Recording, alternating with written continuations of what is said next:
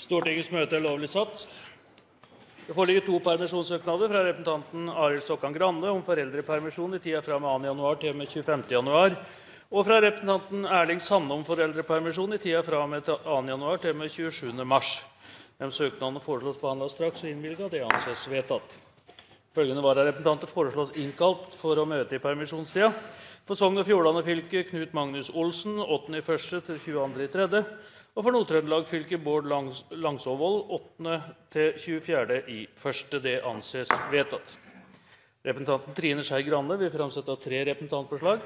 Grande, vær så god.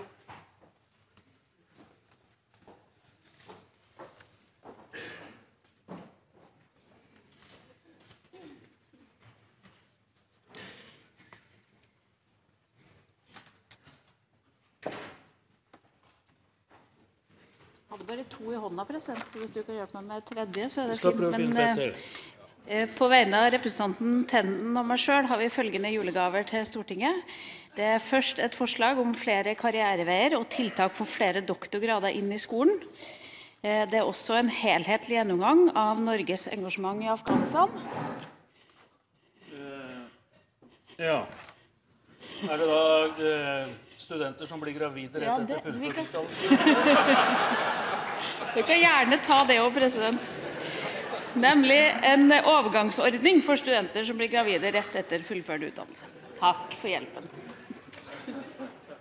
Og eh, representanten Michael Tetzschner vil framsette et representantforslag.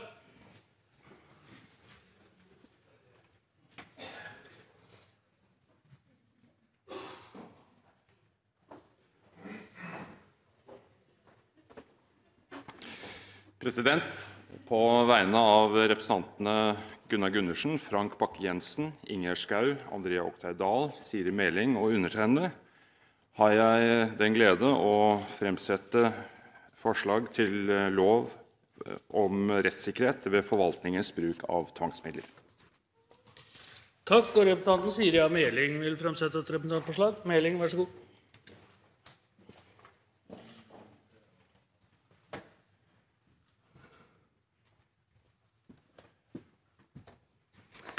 På vegne av Borghild Tenden, Per-Willy Amundsen, Kjell Ingolf Ropstad og meg selv har jeg gleden av å fremsette et representantforslag om å ivareta industriens behov for forutsigbar krafttilgang. Takk, og Samtlige representantforslag vil bli behandlet på reglementsmessig måte. Til behandling foreligger de saker som er oppført på dagsorden nummer 36. Det er sak 1 er muntlig spørretime, og Stortinget mottok mandag meddelelse fra statsministerens kontor om at statsminister Jens Stoltenberg vil møte til muntlig spørretime, og det, eh, statsministeren er til stede. Vi er klare til å starte den muntlige spørretimen. Vi starter da med første hovedspørsmål fra representanten Siv Jensen. Deretter stilles hovedspørsmål av representanten Erna Solberg. Jensen, vær så god.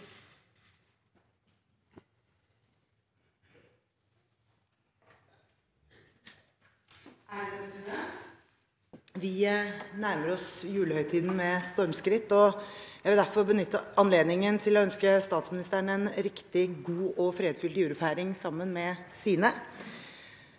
President, vi lever i et godt land, hvor mye er bra. De fleste av oss eh, gleder oss til eh, noen eh, fine dager sammen med familie, slekt og venner. Men for meg så hører julen først og fremst barna til. Det å se forventninger, glede, spenning og overraskelse i små barneøyne er kanskje det aller, aller flotteste ved julefeiringen. Men eh, antall barn som er fattige, har økt de siste årene. Det er eh, nå så mye som 102 000 barn som lever i fattigdom i vårt eget land. For disse barna kan julefeiringen være mer forbundet med sorg president, enn med glede. Og kontrastene blir spesielt tydelige i julen. Jeg vil ikke et sekund betvile statsministerens og regjeringens ønske om å bekjempe barnefattigdom. Jeg vet at statsministeren har ekte engasjement for de svake. Jeg skal heller ikke hevde at Fremskrittspartiet og jeg har alle svarene. Vi har i hvert fall ingen magisk penn som kan fjerne fattigdommen med et pennestrøk. Men det jeg har, president, er et brennende ønske om å få gjort noe med problemet, slik at flere barn kan glede seg i hverdagen.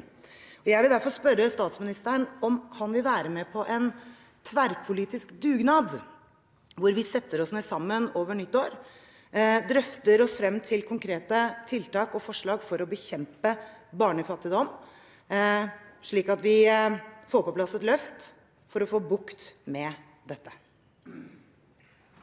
Statsminister Jens Stoltenberg.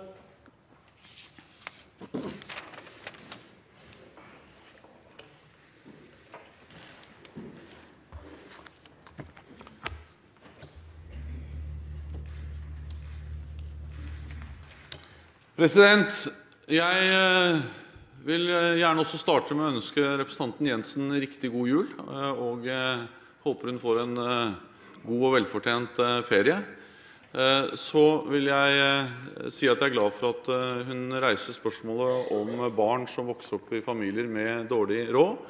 Fordi selv om representanten Jensen har rett i at det er mye som er bra her i landet, så er det fortsatt altfor mange barn som vokser opp i familier der foreldrene har dårlig råd. og Derfor vokser de opp i vanskelige økonomiske vilkår. Vi har sett at en hovedårsak til det er at vi ser at ikke minst i mange innvandrergrupper så er det en kombinasjon av eh, lave inntekter eh, og mange barn eh, som gjør at det er der hovedtyngden av de som nå er i barnefamilier med dårlig råd, er innvandrere med lav inntekt. Og, og hovedårsaken til at det er lav inntekt, er mangel på integrering. Den viktigste årsaken er mangel på jobb. og Derfor er det også for denne gruppen det viktigste vi kan gjøre for å bekjempe barnefattigdom, er å bidra til at flere kommer i jobb, integrering, eh, norskopplæring og den type eh, tiltak. Vi drøfter gjerne dette og andre tiltak med eh, andre partier på Stortinget. Vi har lagt fram omfattende tiltak i eh, statsbudsjettet. Vi vil eh, fremme ytterligere tiltak i andre dokumenter gjennom våren til Stortinget. og Det er gode anledninger til å drøfte hvordan man kan få til felles tiltak for å ytterligere hjelpe de familiene som sliter med dårlig råd.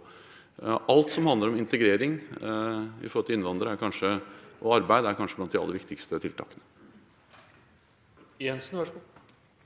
Ja, president, jeg velger å tolke svaret til statsministeren positivt, i den forstand at han eh, sier ja til å sette seg ned med eh, opposisjonen i Stortinget med tanke på å få på plass et tverrpolitisk enighet som kan eh, sikre at flere barn eh, lever i trygge, gode økonomiske omgivelser i tiden som kommer. Da har jeg tenkt å følge opp det president, ved å sende en invitasjon til samtlige partier i januar, slik at vi kan begynne det viktige arbeidet. Men jeg vil i tillegg til det understreke president, betydningen av å få med frivillig sektor på denne dugnaden. Dette er eh, mennesker som gjennom hele desember måned, og for så vidt hele året og for den saks skyld, står ved Frelsesarmeens gryter og fryser for å samle inn penger, eh, klær, mennesker som i sine lokalsamfunn gjør en stor forskjell hver eneste dag. Eh, listen er lang, men det den viser er et bredt folkelig engasjement for å hjelpe andre. Altså en folkedugnad nærmest. Det er en dugnad som jeg mener vi politikere også bør ta en del av. Så jeg forventer at statsministeren tar imot min invitasjon om et slikt eh, forlik. Statsminister Stoltenberg. Eh, President, eh, Frivillige organisasjoner, frivillig innsats er avgjørende for det norske velferdssamfunnet, og ikke minst overfor mange av de som har det aller eh, vanskeligst. Og Det skal vi hilse velkommen, og vi skal uttrykke takk for det arbeidet som mange frivillige nedlegger. I tillegg til takk så fortjener de også støtte, og det er grunnen til at man har gjennomført en ganske betydelig økning av den økonomiske støtten til frivillige organisasjoner gjennom de senere årene. Slik at eh, vi skal legge til rette for frivilligheten. Eh, Det er en avgjørende del av arbeidet for sosial utjamning. Og vi skal gjøre det både gjennom anerkjennelse, men også gjennom eh, økonomisk støtte. Når det gjelder barn som lever i fattigdom, så er det slik at i tillegg til integrering, arbeid, så er rus, psykiatri også en viktig årsak til fattigdom. Vi vet at eh, de foreldrene som sliter med rusproblemer, de har ofte problemer med å gi barna sine den omsorgen, den oppveksten de eh, trenger. og Derfor er rus og psykiatri også viktige fattigdomstiltak. Det blir eh, gitt anledning til fire tilleggsspørsmål. Første tilleggsspørsmål er fra representanten Robert Eriksson, og deretter representanten Torbjørn Røe Isaksen. Eriksson, vær så god. Ja, president, Jeg er veldig glad for at statsministeren signaliserer såpass tydelig at han vil ta imot den utstrakte hånda fra Fremskrittspartiet og partileder Siv Jensen i kampen om å bekjempe den økende barnefattigdommen. Men barnefattigdom i Norge handler først og fremst om barn som ikke har muligheten til å delta i aktiviteter på lik linje som andre barn.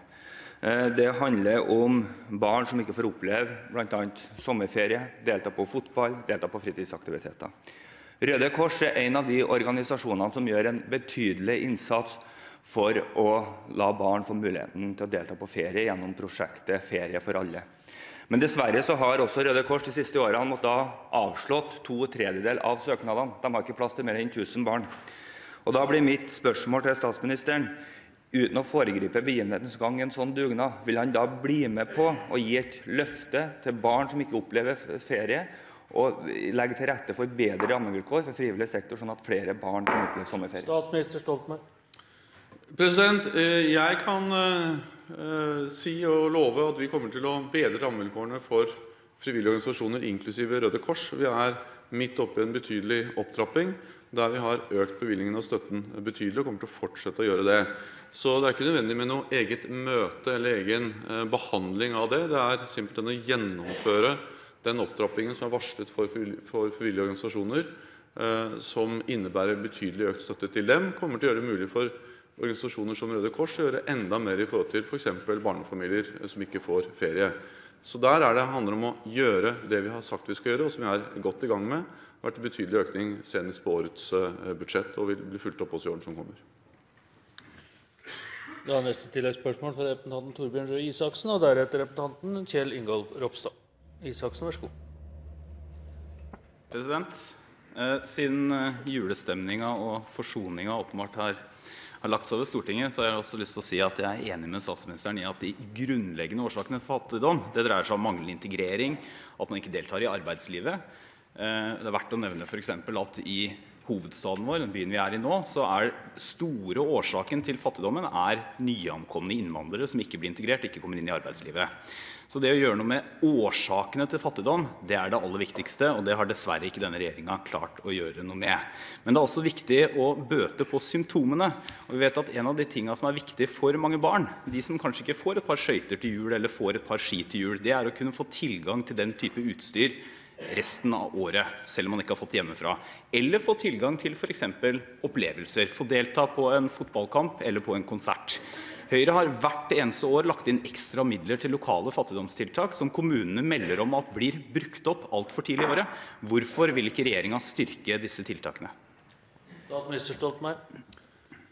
President, Vi styrker kommunene, og dermed styrker vi også kommunenes evne til å gjøre den type fattigdomstiltak. Og vi snakker om 60 eh, milliarder kroner mer til kommunene, eh, som har gjort dem vesentlig bedre i stand til å løse bl.a. den type eh, oppgaver. I tillegg har vi betydelig styrket den økonomiske støtten til frivillige organisasjoner, som også er et bidrag til å gi den type tilbud til barnefamilier og andre som sliter. Men ellers er det litt spesielt å høre representanter fra Høyre måte kritisere oss for at vi gjør for lite i forhold til fattigdom. Eh, da de selv satt med ansvar, så er det slik at andelen barn i fattige familier ble tredoblet. Eh, og nå har vi altså flatet ut og faktisk gått litt ned, slik OECD måler fattigdom. Vi er ikke fornøyd med det, men det er slik at resultatene under denne regjeringen er uendelig mye bedre enn resultatene under den eh, forrige regjeringen. Og Det skyldes jo nettopp at vi har ønsket å gjøre noe med grunnlaget, årsakene til fattigdom.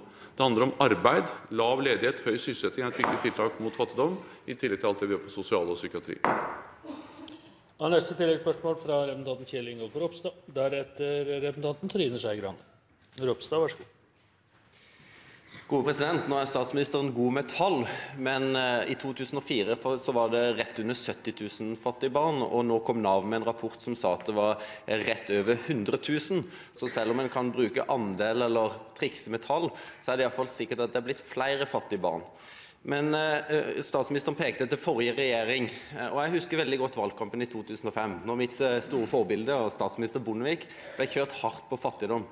Og Han sa hvis det var én ting han kunne gjort mer for, så var det for fattigdommen. Og han beklaget at han ikke hadde gjort mer.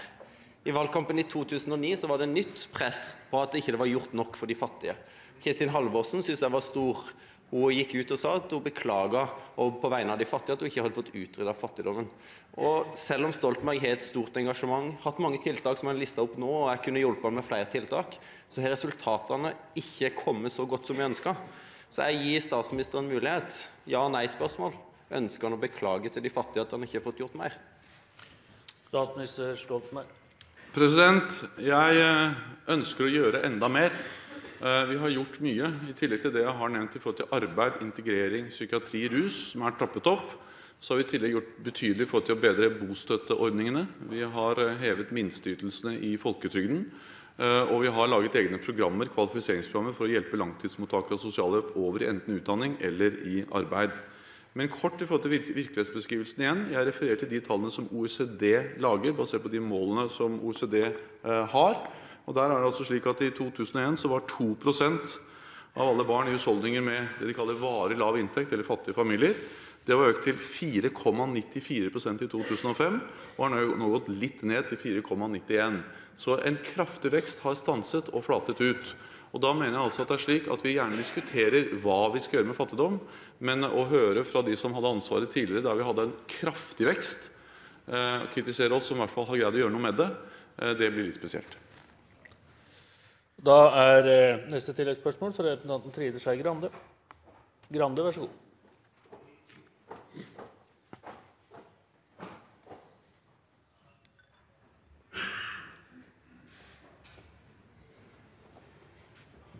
Jeg vil også ønske statsministeren en god jul. Og kanskje skal man stole litt mer på det man sier hverandre i jula, enn det man sier til hverandre når det er valgkamp. I 2009, på direktesendt TV, så spurte eh, partileder Lars Bonheim om statsministeren ville være med på en dugnad for å bekjempe fattigdom blant barn. Det ville statsministeren. På første dag i ny møtesesjon i nytt storting fremma Venstre Dokument 8-forslag for å bekjempe fattigdom blant barn. Da ville ikke statsministeren lenger. Når fordelingsmeldinga kom, var det ingen tiltak mot den gruppa. Venstre fremma 20 tiltak i salen. 20 ganger sa statsministeren sine parti nei til Venstre sine forslag. Nå har statsministeren klart å rote fram en statistikk som viser at det var like mange fattige barn i 2005. Og selv om han har fått 400 milliarder mer å rutte med, så syns jeg ikke det er noe stor trøst. Så hvorfor brøt statsministeren løftet han ga til fattige barn i valgkampen, og hvorfor skal vi tro på han nå? Statsminister Stoltenberg. President, Jeg mener man skal stole på mennesker både i jula, eh, i valgkamper og ellers. Det er en veldig god egenskap å si det man mener, og gjøre alt man kan for å holde eh, de mål og de løfter man eh, gir. Og Derfor har vi gjort det vi sa vi skulle gjøre, nemlig trappe opp innsatsen i forhold til fattigdom. Vi er ikke fornøyd, det er mye ugjort, men vi viser til ganske mange tiltak som har bidratt og hjulpet veldig mange mennesker. Det viktigste er å hjelpe til med integrering, for den største gruppen av fattige er altså mennesker med innvandrerbakgrunn. Det har kommet mange til Norge. Mange av dem har lav inntekt og mange barn, og det gjør at de kommer eh, i eh, fattige, eller i hvert fall kommer for dårlig eh, økonomi. Eh, Så vi er i gang med det vi sa vi eh, skulle gjøre, eh, og vi ønsker å fortsette å gjøre nettopp eh, det. Så viste jeg til at vi har lagt fram flere dokumenter, eh, f.eks. For fordelingsmeldingen. Og Der har vi altså lagt fram store og små tiltak. Vi har vært åpne for å drøfte det med de andre partiene i eh, Stortinget. Eh, Og vi har fått til eh, mange gode tiltak. Vi ønsker å gjøre mer av det i årene som kommer. Dermed går vi til neste hovedspørsmål fra representanten Erna Solberg. Og deretter stilles hovedspørsmål av representanten Hans Olav Syver. Solberg, vær så god.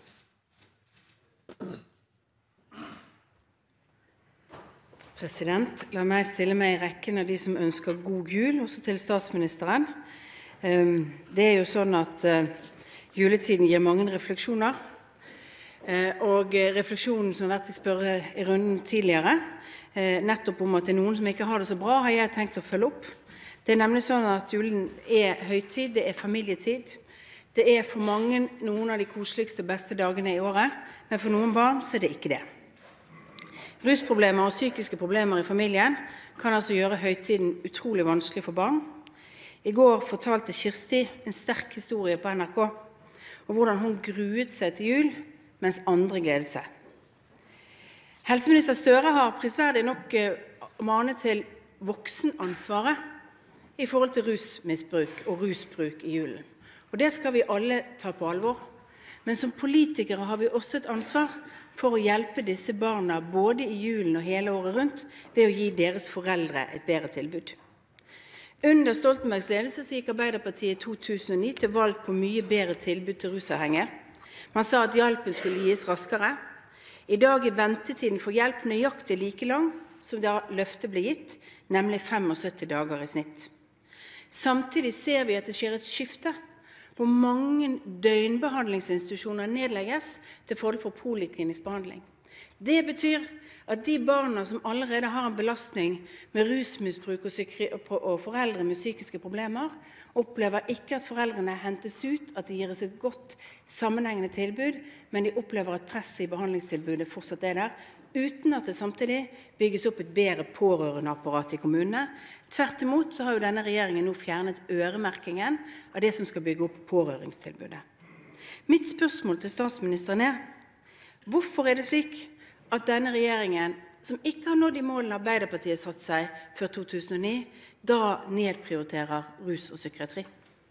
Statsminister Stoltenberg. President, La meg også da uh, uttrykke et ordentlig hjertelig god jul til Erna Solberg. Og ønske henne en uh, riktig god ferie. Og så gleder jeg meg til å møte Erna Solberg og alle dere andre uh, til gode debatter etter juleferien.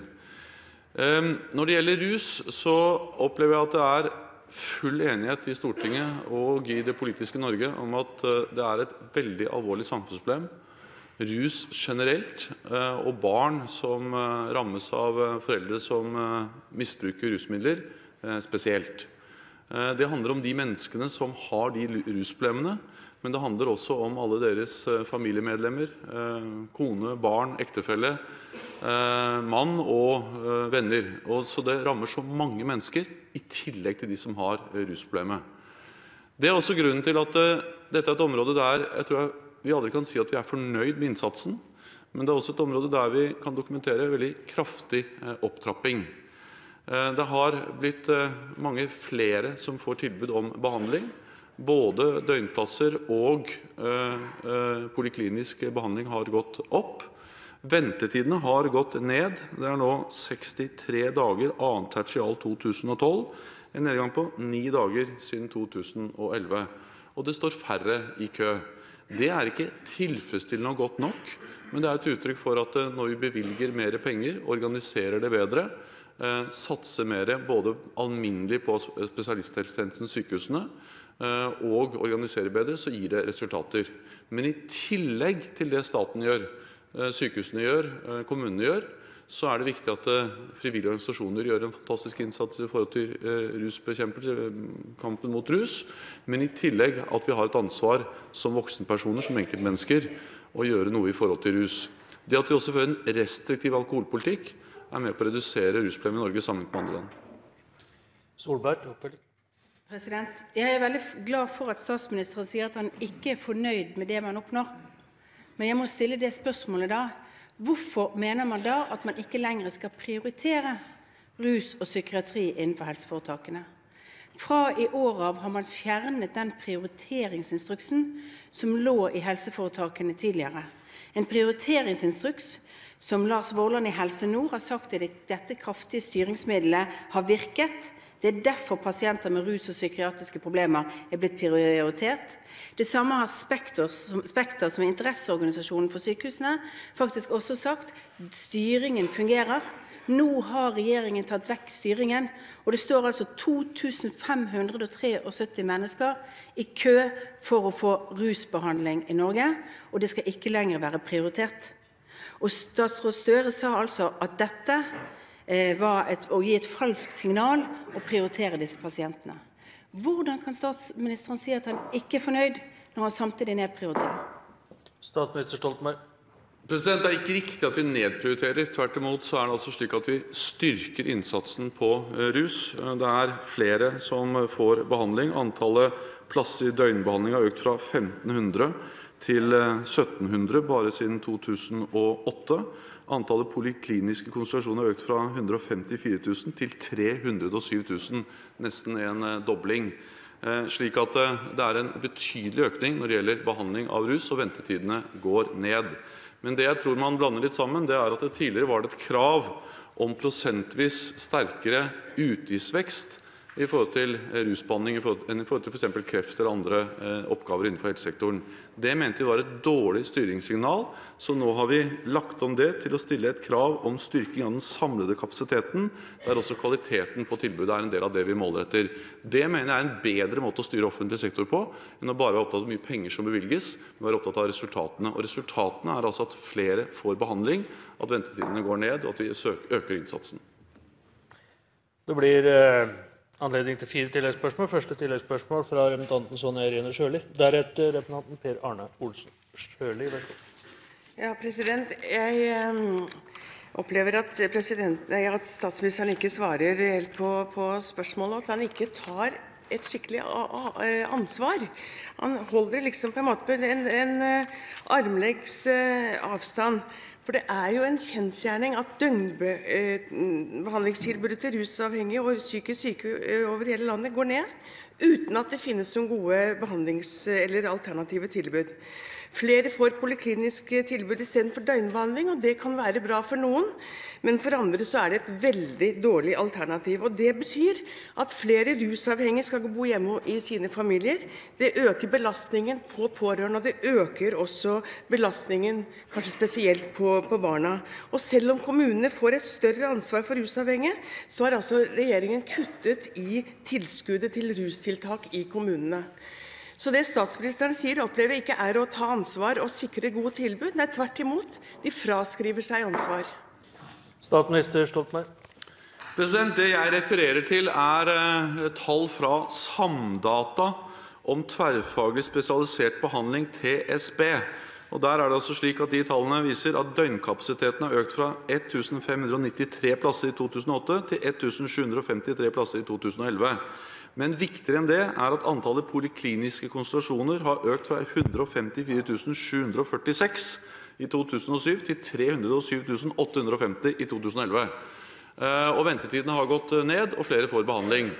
Eh, og Det er de tallene jeg refererer til, og det er de tallene som Helsedepartementet eh, gir oss. og Det regner jeg med er riktige tall. Begge peker i hvert fall kraftig oppover og en betydelig eh, styrking. Men igjen så jeg føler litt at vi er i de samme sporene, både opposisjonen og posisjonen, i hver eneste spørretime. For dere peker på mangler, og jeg peker på det som er gjort. Og Sannheten er at dere har rett, og jeg har rett. For det er mangler. Vi er ikke mål. Det er ikke slik at alle køer og alle problemer er løst. Men, men vi går i riktig retning på dette området som på så mange andre områder ved at vi gjør noe med problemene og øker kapasiteten. Da er neste tilleggsspørsmål fra representanten Per Arne Olsen. Deretter representanten Kjell Ingolf Ropstad. Olsen, vær så god. Takk, eh, president. Ja, det er eh, riktig det at vi av og til føler at vi har hørt denne debatten før, og i hvert fall svarene at aldri har det vært bevilget mer penger, og aldri har det vært gjort mer. og Jeg kjenner også Samdata-tallene, men samtidig sier jo statsministeren her at det er resultatene som teller. Resultatene er faktisk at vi stadig får tilbakemeldinger om institusjoner som ned, legges ned, institusjoner som ikke kan ta imot flere. Eh, jeg har en lang liste her med institusjoner som ikke kan ta imot rusavhengige lenger.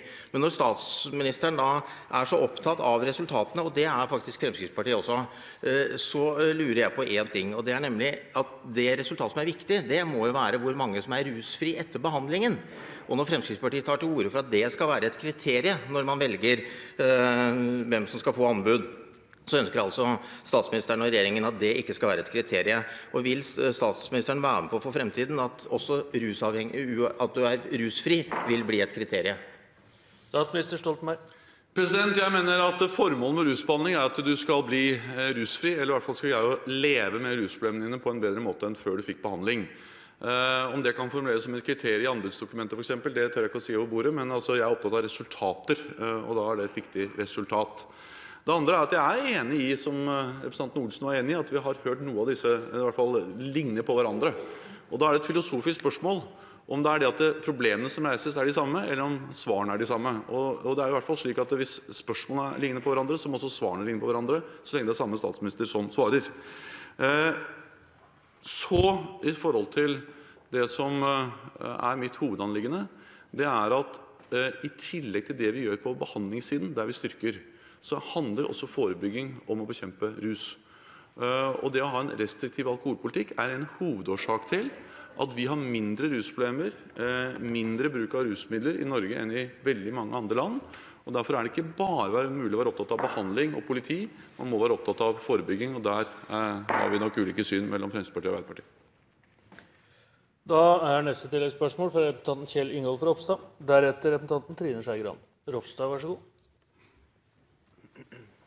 Gode president. Eh, På mandag så satt jeg og snakka med ei jente i ca. 25-årsalderen, heter Tine, eh, som var tydelig prega av rus. Hun gikk på metadon og var litt redd for å sprekke fordi hun hadde gjort det et par ganger før, men hun visste at hvis hun kom til å sprekke en gang til, så ville hun bli lagt inn, og da mista hun hunden sin, som var det, det dyrebare, eller det, det viktigste hun hadde. Eh, Så hun klarte å holde seg rusfri pga. den. Eh, Men hun ønska å bli innlagt, eh, men det var lang ventetid, så hun sto fremdeles i kø. Og Statsministeren vet veldig godt at motivasjon, når du har det, så er det avgjørende at du får hjelp. Likevel så opplever en at sånn som Frelsesarmeen, Evangeliesenteret har ledige plasser. Ideelle organisasjoner blir ikke tatt i bruk i så stor grad som det har kapasitet. Samtidig så ser en òg nå at Nybøle eller Føniks Haga holder på å bli lagt ned. Organisasjoner som ønsker å hjelpe, og som har mulighet for å hjelpe. Hva er logikken i at sånne type institusjoner blir lagt ned? Statsminister Stoltenberg. For det første så deler jeg veldig den personlige bekymringen eh, som representanten gir uttrykk for når det gjelder eh, hvor vondt eh, det er å ha rusproblemer. Og at Det handler om de enkeltmenneskene, men det handler også om alle deres nærmeste. Og Derfor er det viktig at vi hjelper dem. og jeg mener at Metadon er en viktig måte å hjelpe mennesker på. Dels til å hjelpe dem ut av rus, men dels til å simpelthen erkjenne at noen mennesker kommer til å leve med det problemet hele livet og gjøre det livet så verdig som mulig. Eh, Når det gjelder frivillige og ideelle institusjoner, er det en veldig viktig del av rusbehandlingen. Jeg husker ikke nøyaktig tallet, men jeg tror det er over halvparten av tilbudene er innenfor frivillige eh, private. Eh, Det er en stor andel, og vi satser på det og vi bygger ut det. Men en utfordring vi har, er jo nettopp at vi har anbud, vi har konkurranse mellom disse organisasjonene. og Da er det noen ganger noen som vinner og andre som taper. Da tror jeg vi bare må akseptere at hvis vi har anbudskonkurranser som vi har innenfor f.eks. rusomsorgen, så vil det ikke være slik at alle som leverer et anbud, får. Noen ganger vil det være skifte av hvilke institusjoner som gir det tilbudet. Samlet sett øker det, selv om ikke alle vinner alle anbud. Da er neste tilleggsspørsmål fra representanten Trine Skei Grande. Grande, vær så god.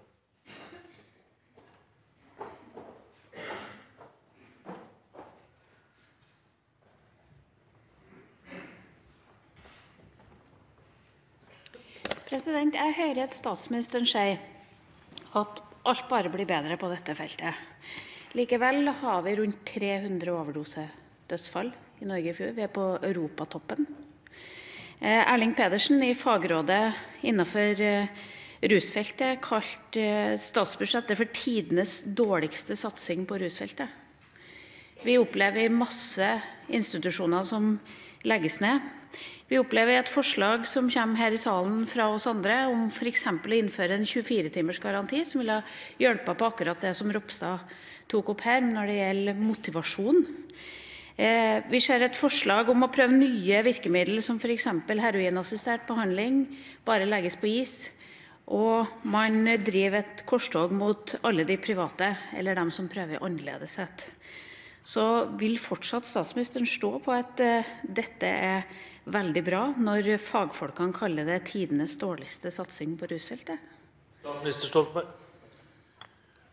President, Jeg har eh, understreket eh, i denne debatten som eh, i veldig mange andre debatter at vi er ikke fornøyd.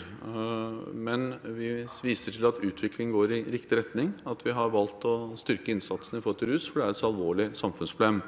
Og så har jeg referert en del tall i forhold til at flere får behandling. eh, At vi har nesten doblet f.eks. antallet som får poliklinisk behandling, og også økt de som får døgnbehandling, og at ventetidene går ned. Det er bra for de som får behandling, men det er selvfølgelig mager trøst for de som ikke får behandling. Derfor skal vi fortsette den eh, utviklingen.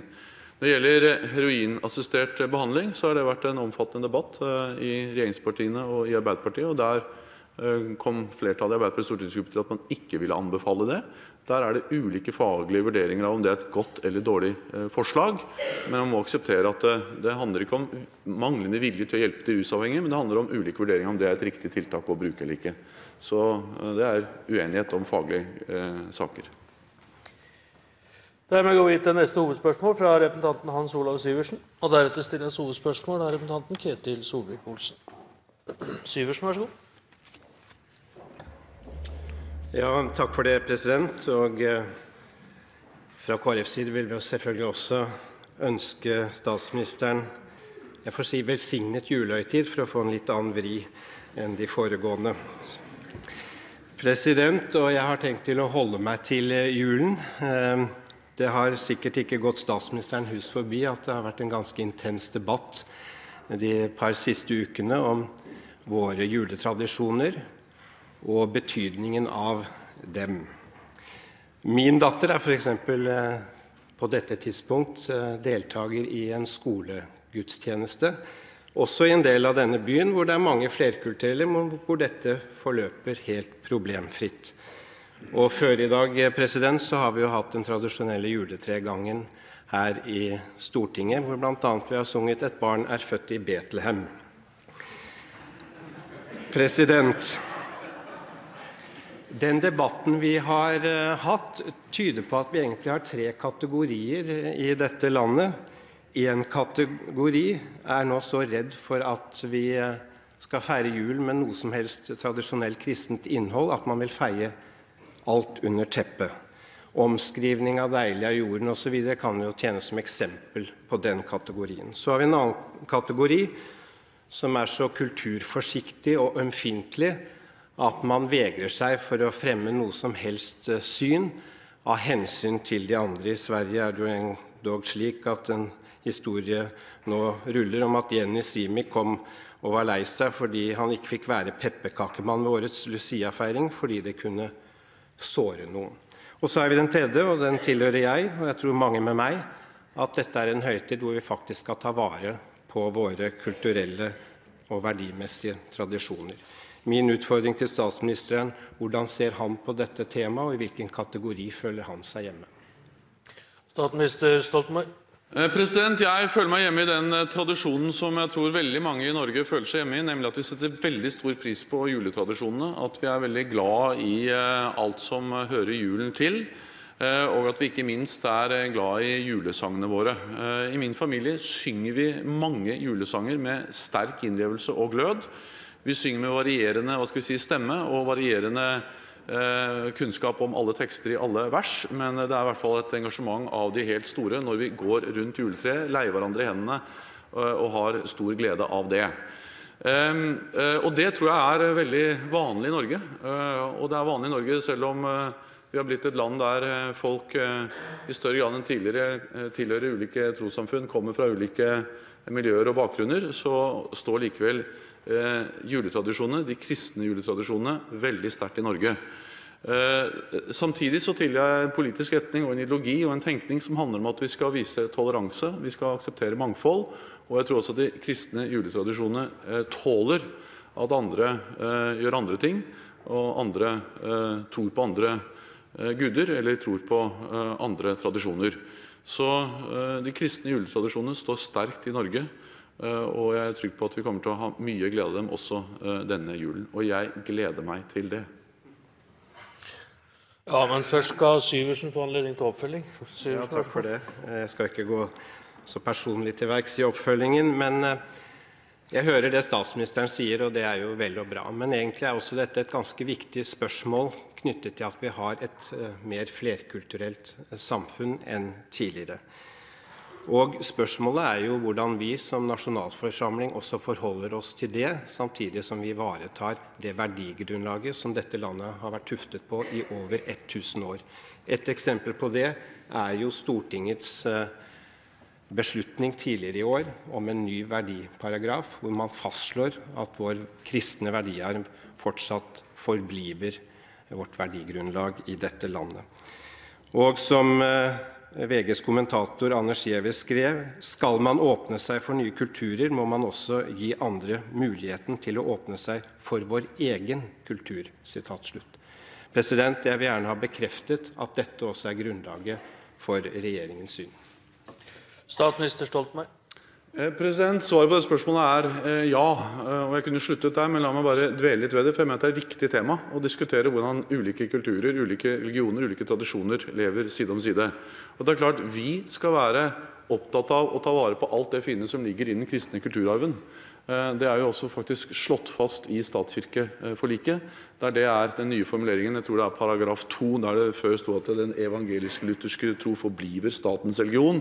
Så har vi nå formulert mer en verdiparagraf for eh, staten, der vi viser til den kristne kulturarv. Så I det ligger jo eh, nettopp at det har en særstilling i Norge. Og jeg, mener, jeg ser ingen motsetning mellom å mene det og samtidig akseptere at andre mennesker har andre tro, annen kultur. Eh, og lever med det, så lenge vi respekterer hverandre.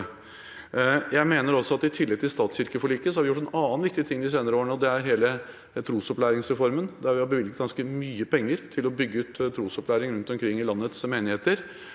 og Som også er et uttrykk for nettopp ønsket om å styrke ta vare på den delen av vår kulturarv. Og Det er anmodet om ett tilleggsspørsmål. Blir gitt anledning til det. Representanten Siv Jensen, vær så god. Ja. Det blir i tillegg et tilleggsspørsmål fra representanten eh, Øyvind Håbrekke deretter. Jensen, vær så. President, jeg følte ikke helt at statsministeren svarte på det spørsmålet handlet om. For dette handler ikke om hvordan statsministeren synger julesanger i den private sfære. Dette handler snarere tvert imot hvordan det norske folk opplever at stadig flere av våre verdier og tradisjoner blir bortforklart i det offentlige rom eh, fordi noen mener at det kan komme til å støte andre. Det har vært ganske mange reaksjoner på ulike hendelser både dette året og tidligere rundt det at vi er så redd for å stå opp for den, det som mange opplever som norsk identitet, våre tradisjoner og våre verdier. Eh, jeg mener snarere tvert imot at det bygger et samfunn, og det skaper bedre plass både for toleranse og for andre synspunkter når man har et felles fundament å bygge på. Derfor synes jeg statsministeren bør gå grundigere inn i den problemstillingen. Det er altså en, en kraft i retning av at uh, det vi identifiserer oss med, skal omtolkes og bortforklares. Syns statsministeren at det er riktig? Statsminister Stoltenberg. President, eh, Svaret på det spørsmålet er nei. Vi skal ikke bortforklare og omtolke det vi selv eh, står for. Det skal vi stå for, argumentere for og hevne med stolthet.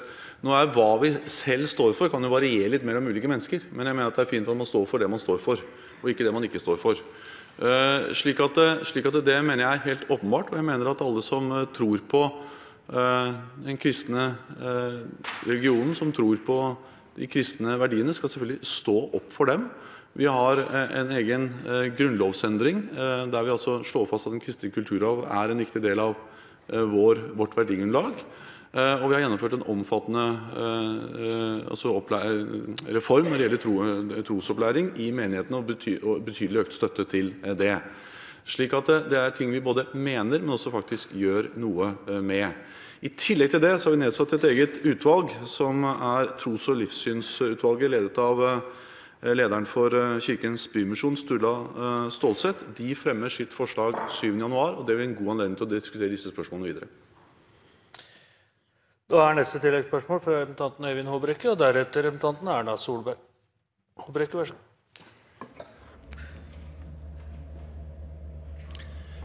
President, Jeg vil takke statsministeren for svaret. og Jeg er glad for at statsministeren så tydelig understreker betydningen av, av at det kristne verdigrunnlaget er så tydelig lagt fast i Grunnloven, og at han òg legger det til grunn.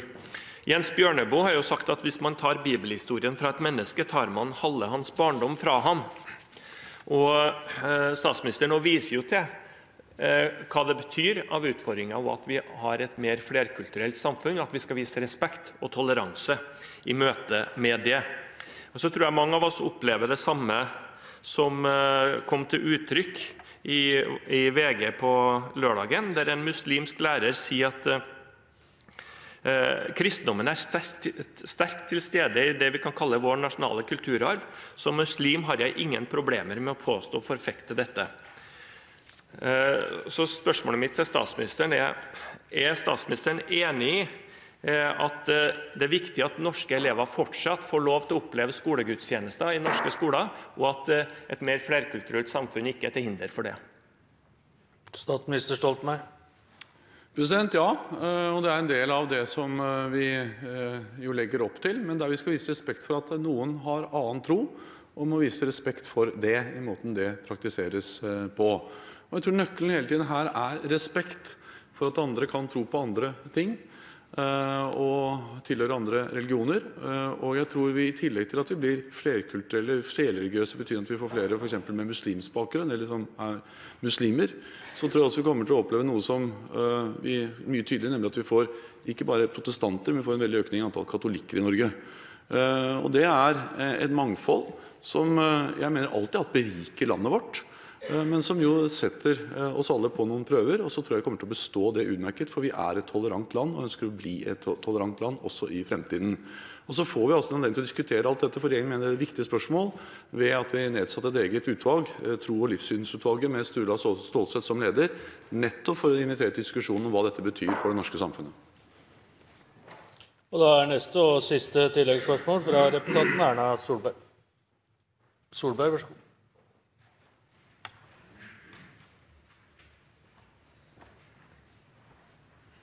Det å kjenne seg selv, det å kjenne sin kultur og det å kjenne sin bakgrunn er sannsynligvis det beste bolverket mot ekstremisme, mot misforståelser og, mot å kunne, og, og for å kunne møte andre med åpenhet. Jeg er ikke i tvil om at et samfunn som, hvor folk er sikker på sine grunnleggende verdier og samfunnets grunnleggende verdier, gjør det lettere å møte andre, både med bolmerket mot de som driver rive det ned, og for de som har andre verdier, men som man skal respektere fordi man tror på noe annet. Det er mange eh, mennesker rundt omkring i offentlig sektor som sitter med litt ulike og litt forvirrende syn på hva er på en måte tanken vår f.eks. rundt eh, skolegudstjenester. Vi ser at diskusjonene dukker opp om det skal være eller ikke være, av hensyn til at noen ikke vil, kan eller ønsker å delta. Og da er Min oppfølgingsspørsmål til det forrige tilleggsspørsmålet er vil statsministeren sikre at det går et tydelig signal om at vi faktisk anser det som ønskelig at det gjennomføres gudstjenester for de som ønsker det, i regi av skolene i Norge? Statsminister Stoltenberg. President, Jeg mener at vi har greid å praktisere dette i all hovedsak på en god måte i norsk skole. Jeg har stor tiltro til de lokale, til skolelederne, til rektorer, til lærere, om at de finner måter å praktisere dette på som både tar vare på den kristne kulturarven, tar vare på gudstjenester som en del av vår julefeiring, men samtidig greier å vise respekt for de som ikke følger seg med i den tradisjonen og den kulturen. Og Det har jeg god tillit til at norske skoleledere praktiserer på en god måte. Hvis det kommer eksempler på det motsatte, så får vi håndtere det da. Det jeg har reagert på, det har vært enkelte tilløp til at man nærmest skal mene at vi politikere skal mene noe om alt, f.eks. programinnhold i NRK eller andre ting som man kan reagere på, men der jeg mener at vi politikere skal være litt forsiktige med å bli overredaktører eller bli mennesker som mener noe om alt i forhold til hvordan ting er utformet og laget, uavhengig av hva vi måtte oppleve rent personlig er vår holdning til de eksemplene. Dermed går vi til neste hovedspørsmål fra representanten Ketil Solvik-Olsen. Og Deretter stilles hovedspørsmål av representanten Ine Eriksen Søreide. Solvik-Olsen, vær så god. Ærede president, for å holde på juletema. Mange skal ut og reise i jula. Noen flyr, vel veldig mange kommer til å kjøre bil. Og veldig mange kommer til å møte på bomstasjoner på veien. Bompenger innkreves for å nedbetale lån, for at en har bygd veien. I landsstyremøtetalen til statsministeren den 24. april i år så sa statsministeren at han advarte mot delvis privat finansiert utbygging av vei og jernbane. Fordi den modellen gir mindre penger totalt til nybygg av vei og bane, fordi staten rundt neste sving både må betale avdrag og rente for de pengene som ellers kunne gått til bygging. De som tror noe annet, er enten blitt lurt, eller de lurer seg selv, sa statsministeren. Nå har nettopp Riksrevisjonen lagt fram en rapport der de har kontrollert landets bomstasjoner, som i all hovedsak er offentlig styrt. En fjerdedel av bomselskapene har mer enn halvparten av sine inntekter eh, disponert til drift og rente, altså ikke til veibygging. To stykker har faktisk så høye drift- og renteutgifter at de måtte ha statlig tilskudd for å gå i null. Riksrevisjonen har gjennomgått hele 46 bomselskap. De har 22 milliarder kroner i lån og lånerenter mellom 2,5 og 4% ifølge rapporten. Så en har altså i stor grad lånefinansiert veier, akkurat det som statsministeren advarte kraftig imot. Det som blir en ekstra hån mot bilistene, er at samtidig som en lånefinansierer veier til 2,5 opp til 4% rente, så driver staten på å låne ut oljepengene til andre land ned mot 1 rente. Så der folk flest faktisk eier oljefondet, så må de låne ut sine penger billig, låne hjem igjen pengene dyrt, til tross for at statsministeren har advart mot at dette er en dårlig måte å finansiere veibygging på. Kan statsministeren gi en julegave der han lover at norske bilister skal slippe å finansiere veier på en dårlig måte? Statsminister Stoltenberg. President, Det jeg kan love, er at vi kommer til å fortsette å trappe opp veibevilgningene. Og vi er eh, i rute når det gjelder det eh, vi sa i forrige Nasjonal transportplan, nemlig at vi skulle bruke 100 milliarder kroner mer på vei og bane og havner, samferdsel, enn det vi gjorde i forrige planperiode. og Derfor eh, er det nå rekordhøye bevilgninger, statlige bevilgninger til eh, utbygging av vei og bane i Norge.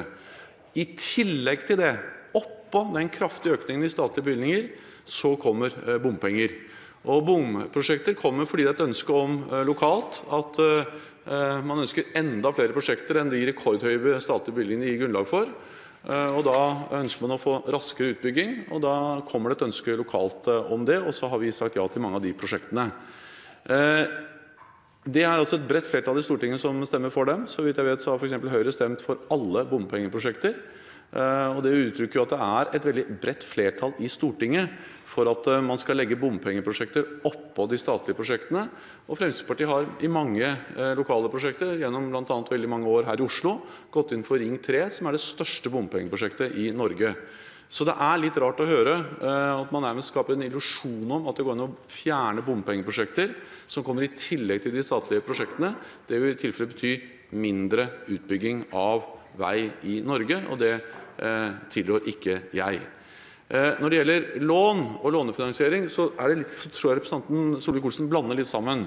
Det er riktig at den norske stat plasserer mye penger i utlandet. Vi plasserer i aksjer. Der svinger kursene mye opp og ned.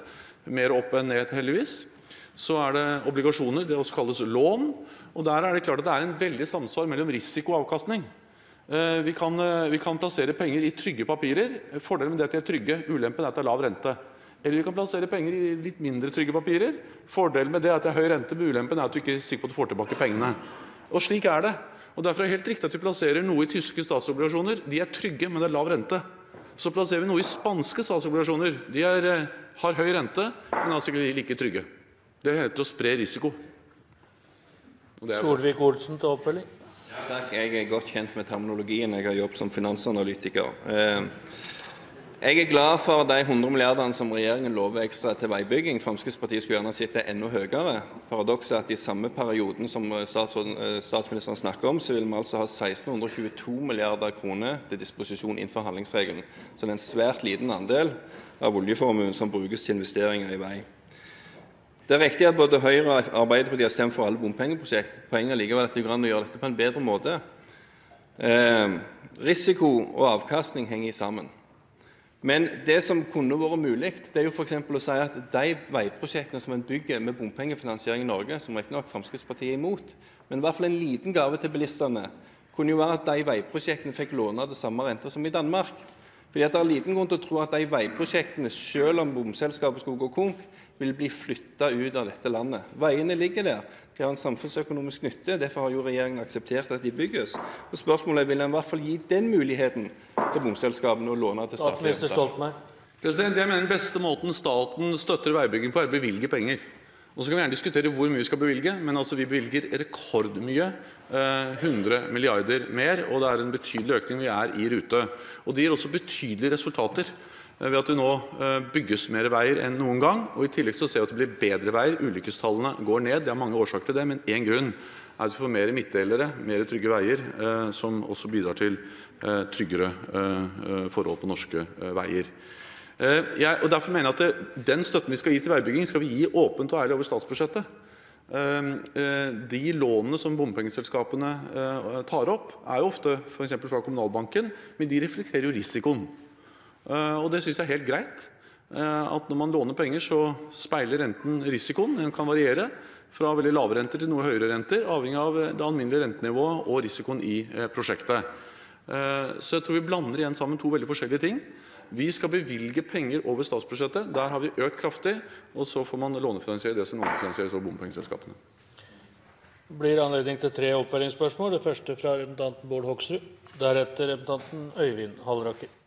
Hoksrud, vær så god.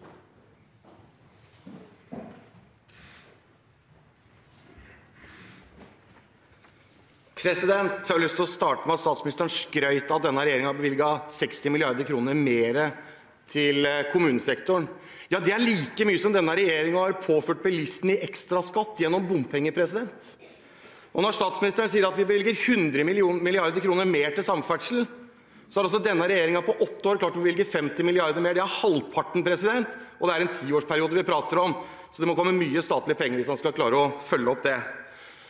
Men i tillegg til at man også betaler 60 milliarder kroner i bompenger, så forsvinner 10 milliarder kroner i innkrevingskostnader og rentekostnader.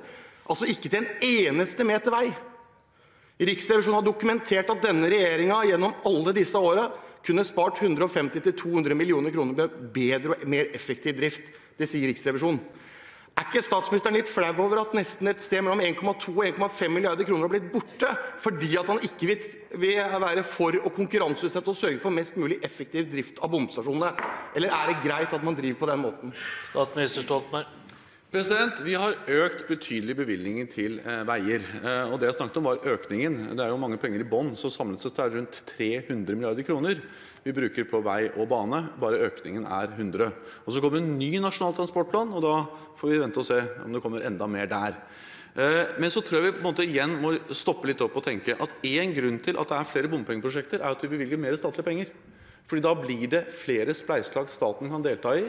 Og det er altså lokalpolitikere, f.eks. her i Oslo, med Fremskrittspartiet i spissen, som gjennom mange år har vært en pådriver for store bompengeprosjekter. Ring 3 var noe Fremskrittspartiet var en pådriver for, et stort bompengeprosjekt. Vi ser det også andre steder i landet. Det kommer da i tillegg til de statlige pengene. Men for når det kommer flere statlige penger, så blir det også mulig å ha eh, statlig bidrag til enda flere bompengeprosjekter. Samlet sett blir det mye mer vei. Grunnleggende sett så er det ingen veier som er gratis. De må enten betales eh, av eh, skattebetalerne eller av bilistene. Eh, det er i lengden det norske folk som betaler for norske veier. Da er neste og siste tilleggsspørsmål fra representanten Øyvind Halleraker. Halleraker, vær så god.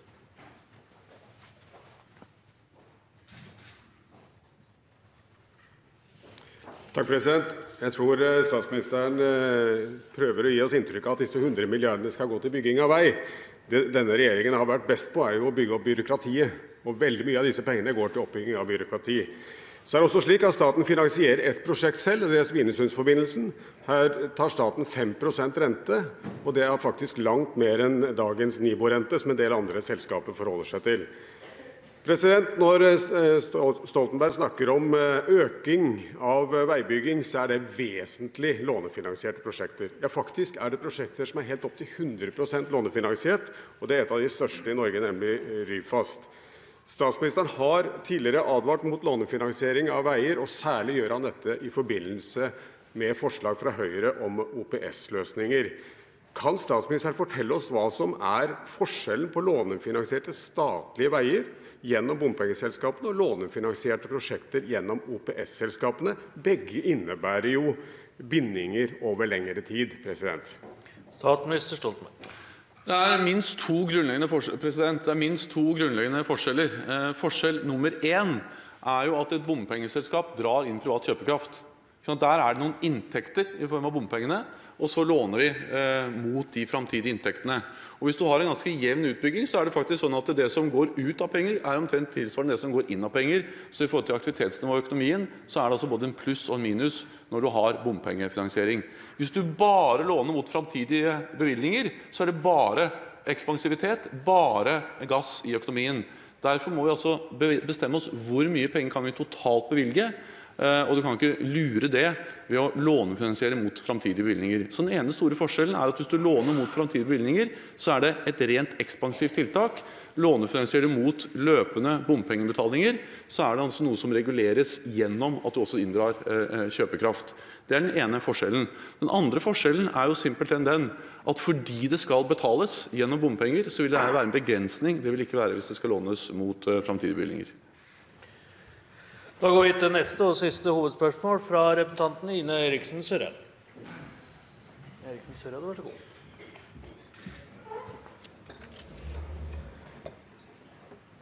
President, EØS er vår livline til Europa.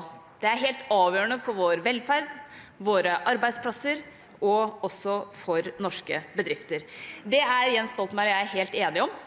Den store utfordringa for Jens Stoltenberg er at ingen av hans regjeringspartnere er enige i det.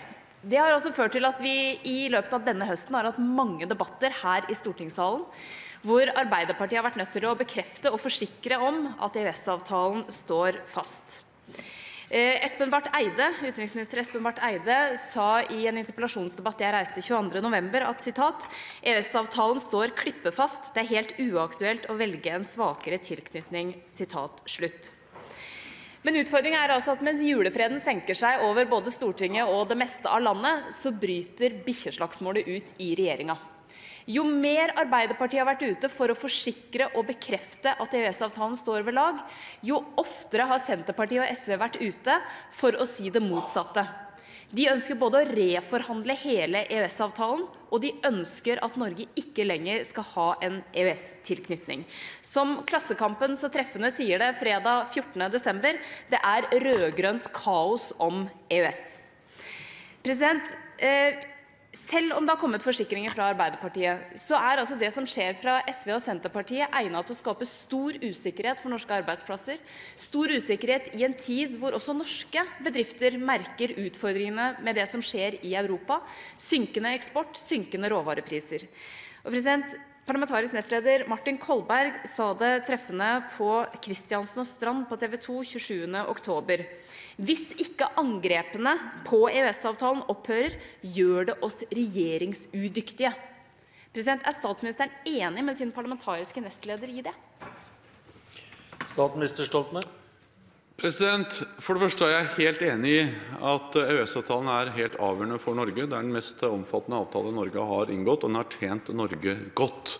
Eh, det har gitt oss forutsigbarhet, gitt oss stabilitet både i økonomien, men også en tilknytning til mange andre europeiske samarbeidsprosjekter som formelt sett er litt på utsiden av EØS, men sånn som f.eks. Eh, forskning, sånn som f.eks. Eh, samarbeidet med asylpolitikk og mange andre områder der vi samarbeider med andre EØS-land. Derfor er det også helt avgjørende for oss å få avklart eh, før valget i 2005 og på Soria Moria i 2005 at EØS-avtalen skulle ligge fast. Det gjorde vi i 2005. Eh, tilsvarende var det avgjørende å få det avklart i 2009. Det fikk vi avklart eh, også i 2009, foran valget og etter valget i 2009. Og jeg er helt trygg på at vi kommer til å få avklart det også eh, i forbindelse med valget i 2013. Fordi det er helt uaktuelt å gjøre noe, altså svekke EØS-avtalen. Vi skal bruke det handlingsrommet som er der, men vi skal ikke undergrave eller svekke EØS-avtalen. Og Det er jo senest slått fast fra regjeringens side i stortingsmeldingen om EØS. Eh, som ligger til behandling her i eh, Stortinget. Så EØS-avtalen ligger fast. Det er en viktig avtale for Norge. Og vi har avklart det eh, med de to andre regjeringspartiene foran de to andre valgene, 2005 og 2009. Og jeg mener at det ikke skal være noe grunnlag for usikkerhet rundt det heller foran valget i 2013. Eriksen Søreide, vær så god.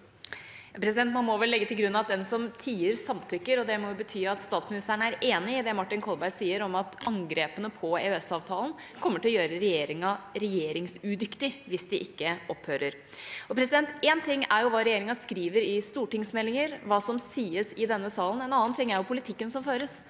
Og Det som bidrar til å skape usikkerheten, er jo at regjeringa i flere saker har bidratt med god hjelp fra Senterpartiet og SV til å undergrave EØS-avtalen. Man tar for seg direktiv for direktiv og prøver å lage så mye bråk som mulig for å skape en vanskelig situasjon med EU. Og president, eh, Som eh, Espen Barth Eide, utenriksministeren, også sa i den samme interpellasjonsdebatten, sitat, en reforhandling av hele EØS-avtalen vil sette avtalen i fare. Og president, Er statsministeren enig med utenriksministeren i at det å reforhandle hele EØS-avtalen vil sette avtalen i fare? Ja, og reforhandle avtalen, hvis man det mener liksom reforhandle store deler av avtalen, ikke en enkeltparagraf som kan hende at det er grunn til å se på, men altså bortsett fra det, eh, så mener jeg at reforhandling av avtalen vil sette hele avtalen i fare. Fordi det vil være en helt annen eh, forhandlingsposisjon enn det vi var eh, da vi forhandlet EØS-avtalen på begynnelsen av 90-tallet. Så når EØS-avtalen ligger fast, så er det jo avtalen, og det innebærer også at man kan ikke f.eks. reforhandle og si at tjenester og arbeid er ut, for da kan man ikke ha fire friheter i Europa og to i Norge. Så jeg mener det omfatter også det.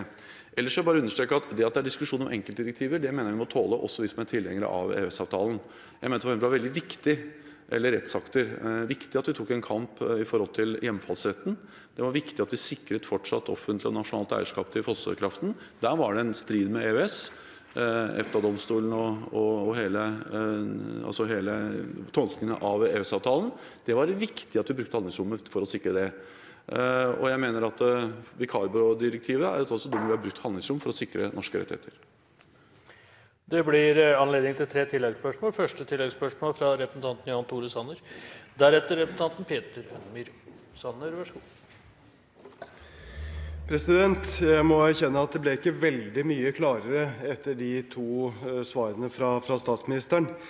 Eh, å si opp eller reforhandle EØS-avtalen fremstår i dag som SV og Senterpartiets aller viktigste valgløfte før valget i 2013. Jeg registrerer at statsministeren sier at han føler seg trygg på at vi vil få avklart dette i forbindelse med valget i 2013. Mitt spørsmål er: Vil statsministeren garantere at dette blir avklart før valget i 2013? Med andre ord, vil statsministeren avlyse SV og Senterpartiets forsøk på å si opp eller reforhandle EØS-avtalen? Statsminister Stoltenberg. President, Jeg mener det spørsmålet er avklart. og som jeg prøver å si, så er det avklart både foran valget i 2005, det er gjentatt foran valget i 2009, og det er senest gjentatt i den stortingsmeldingen regjeringen samlet har levert til Stortinget om EØS-avtalen. At SV og Senterpartiet har et annet syn på EØS, det er en kjent sak. Men det er altså blant de spørsmålene som har vært avklart i denne regjeringen, og så har det en forutsetning for denne regjeringen hele tiden. Og Derfor er jeg helt trygg på at det vil være også klart i forbindelse med dette valget. Da er neste tilleggsspørsmål fra representanten Peter N. Myhre. Deretter representanten Dagfinn Høybråten. Myhre, vær så god.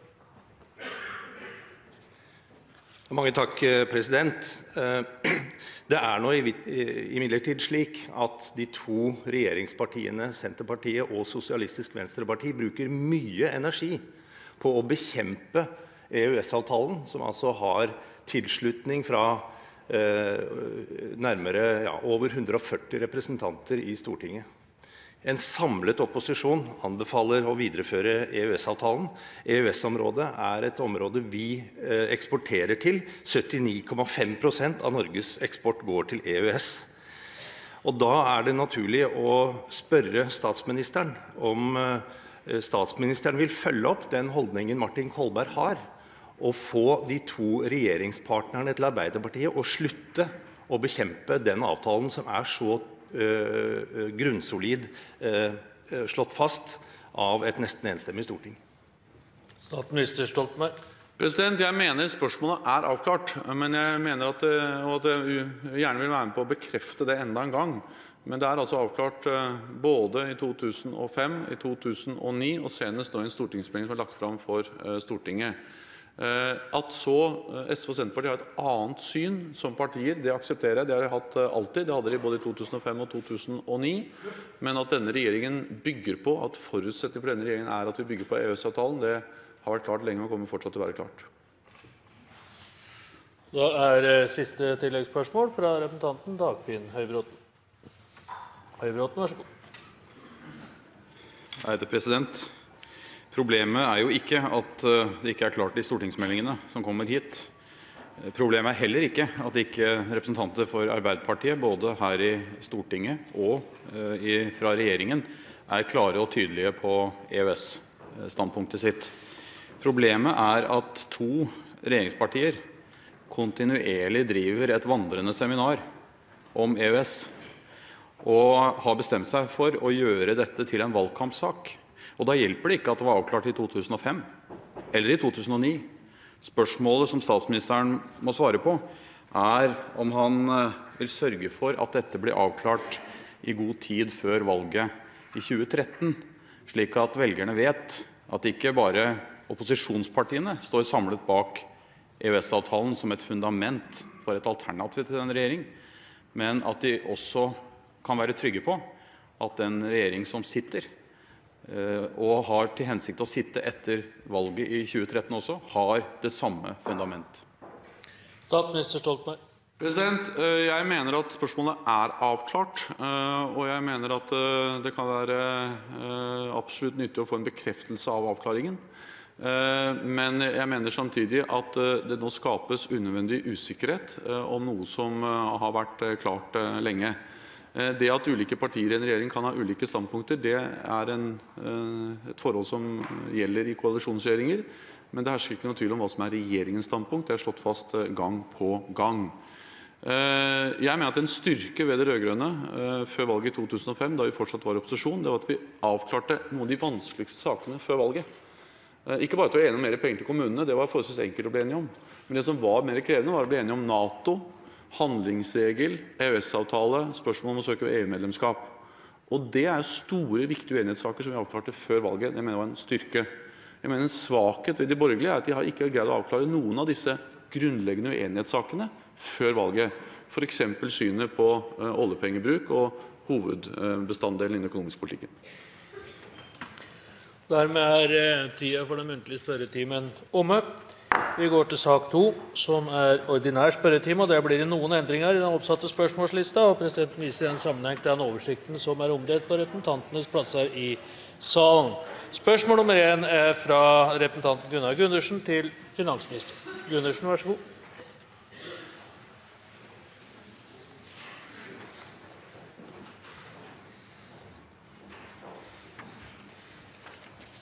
President, jeg vil rette, spørsmål til finansministeren. Finanstilsynets tak på 85 gjeld ved boliglån skal omfatte alle former for gjeld, også startlån fra Husbanken, slik statsråden sa i svaret på mitt spørretimespørsmål 28.11. i år. Departementet har gitt i svar på budsjettspørsmål at 93% av alle startlån i 2011 ble gitt til boligkjøp med mer enn 85% lånefinansiering. Er bildet endret med de nye retningslinjene fra 2012, og hva gjør eventuelt statsråden for å sørge for at retningslinjene etterleves? Finansminister Sigmund Johnsen. Eh, ærede president, eh, Først bare en liten presisering i forhold til en premiss for spørsmålet, med referanse til det jeg sa i spørretimen 28.11. i år. sitat, for det første er det slik at retningslinjene ikke omfatter statsbanker. De omfatter heller ikke tilfeller hvor Husbanken alene står for långivningen. Derimot er det ofte slik at et startlån også kan bli gitt i kombinasjon med et banklån. I de tilfeller kommer man inn under retningslinjene. Slutt. Eh, Finanstilsynets retningslinjer gjelder for forsvarlig for forsvarlig boliglånspraksis gjelder for banker under tilsyn fra Finanstilsynet. Og retningslinjen sier at eh, bankene normalt ikke skal gi eh, boliglån som overstiger 85% av boligens verdi. Banken skal ta hensyn til alle lån med pant i boligen når de beregner belåningsgraden, inkludert et eventuelt startlån med pant i boligen. Finansdepartementet gjenga i oktober i år et svar fra Kommunal- og regionaldepartementet på et budsjettspørsmål om andelen startlån med belåningsgrad over 85 Svaret var at om lag 93 av alle startlån både i 2011 og de tre første kvartalene i år ble gitt med en belåningsgrad over 85 prosent. Nyere tall enn dette er ikke tilgjengelig. La meg si at startlån er behovsprøvd, rettet mot personer med dårlig økonomi eller andre som har vanskeligheter med å komme inn på boligmarkedet. Og Kommunene er i likhet med bankene underlagt finansavtaleloven når de yter lån. Det betyr at de må vurdere kredittverdigheten til låntaker og gjøre en såkalt forsvarlighetsvurdering. Og Det betyr at kommunene må fraråde at lån blir gitt hvis, den, hvis økonomisk evne eller andre forhold tilsier at lånsøkeren bør overveie å avstå fra å ta opp lånet. President. Representanten Gundersen til ja, president. Det Grunnen til at jeg følger opp dette, her er at jeg fikk en del mailer etter forrige runde hvor ordførere er sterkt bekymret for at kommunene blir bank. og ga klart uttrykk for at de ga lån så lenge det var innenfor 100% altså, Eller de ga lån opp til 100 Sånn at jeg, og det, det, må jo ligge noen uklarheter her. Altså jeg, jeg, er fullstendig klar over at det var riktig det som finansministeren sa i svaret, at det, det omfattes av Finanstilsynets retningslinjer med en gang startlån blir grunnlag også for bank, annen bankfinansiering. Da må bankinstitusjonene inn. Men, men det må jo være et paradoks når gjeldsgraden i norske husholdninger er så høy, og det kommer klare signaler ute fra kommunene om at det er kommunene som begynner å overta mye av risikoen, så tror jeg kanskje finansministeren skal se litt nøye på det her og se hvordan vi unngår nettopp det som var bakgrunnen for krisen i USA. Det var jo nettopp at det offentlige hadde overtatt mye av finansieringen av bolig, toppfinansieringen på bolig. Finansminister Johnsen. Det som skjer i tilfellet med startlån, er at kommunene formidler et husbanklån. I det så ligger det at kommunen skal gjøre en kredittvurdering og en forsvarlighetsvurdering av den som da søker om et startlån. I 2011 ble det gitt startlån for om lag 6 milliarder kroner. Halvparten av de lånene ble gitt i kombinasjon med et banklån som en toppfinansiering. Og så er det også slik at Ca. en tredjedel av de som søker om startlån, blir avvist ut ifra det jeg sa i stad, enten for dårlig betalingsevne eller at det er andre forhold som gjør at en ikke bør ta opp et slikt lån. Så er det slik at Når det gjelder startlån, så er det en risikofordeling mellom kommune og staten, der kommunene tar 25% de første 25 og staten de neste 75 og Hvis vi ser på erfaringen med startlån fram til 2011, så var tapsprosenten 0,3, så det er relativt sett veldig små tap på startlån. President. Representanten Gundersen til oppfølging. Det, er vel også riktig, jeg hører det fra kommunene, at det er veldig lite tap. Men det er jo alltid sånn inntil det eventuelt smeller. Da kommer tapene. Og altså jeg, En av de meldene jeg fikk fra ordføreren, der skrives, fra ordførerne, der skrives at dette fører til at bankene får de solide kundene med svært lav risiko, mens medan kommunene får søknad fra alle som ikke evner å stille med 15% egenkapital. Altså er det i veldig mange kommuner hvor man oppfatter at dette er en måte å komme rundt krav om egenkapital på. Og igjen så, så mener jeg faktisk at da har man i hvert fall en jobb med å få alle kommuner på samme linje. For det gjøres jo utrolig mye nå for å prøve å begrense boligprisveksten og prøve å begrense det som en del begynner å karakterisere som en boble. og Da bør det ikke komme ut igjen gjennom det offentlige.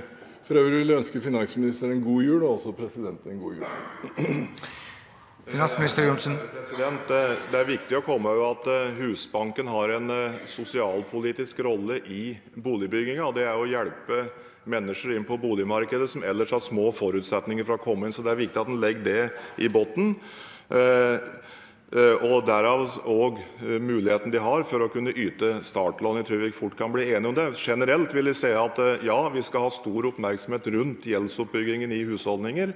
I snitt nå to ganger bruttolønna. Det er vel verdt å ha et våkent øye på det.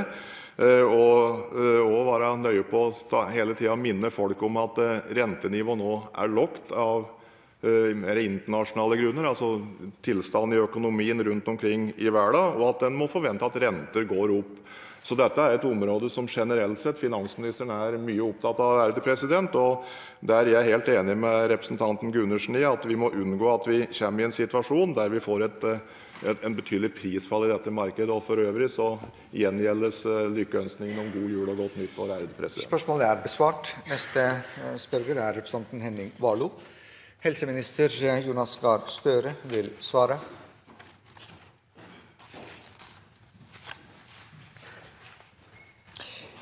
Warloe. Eh, president.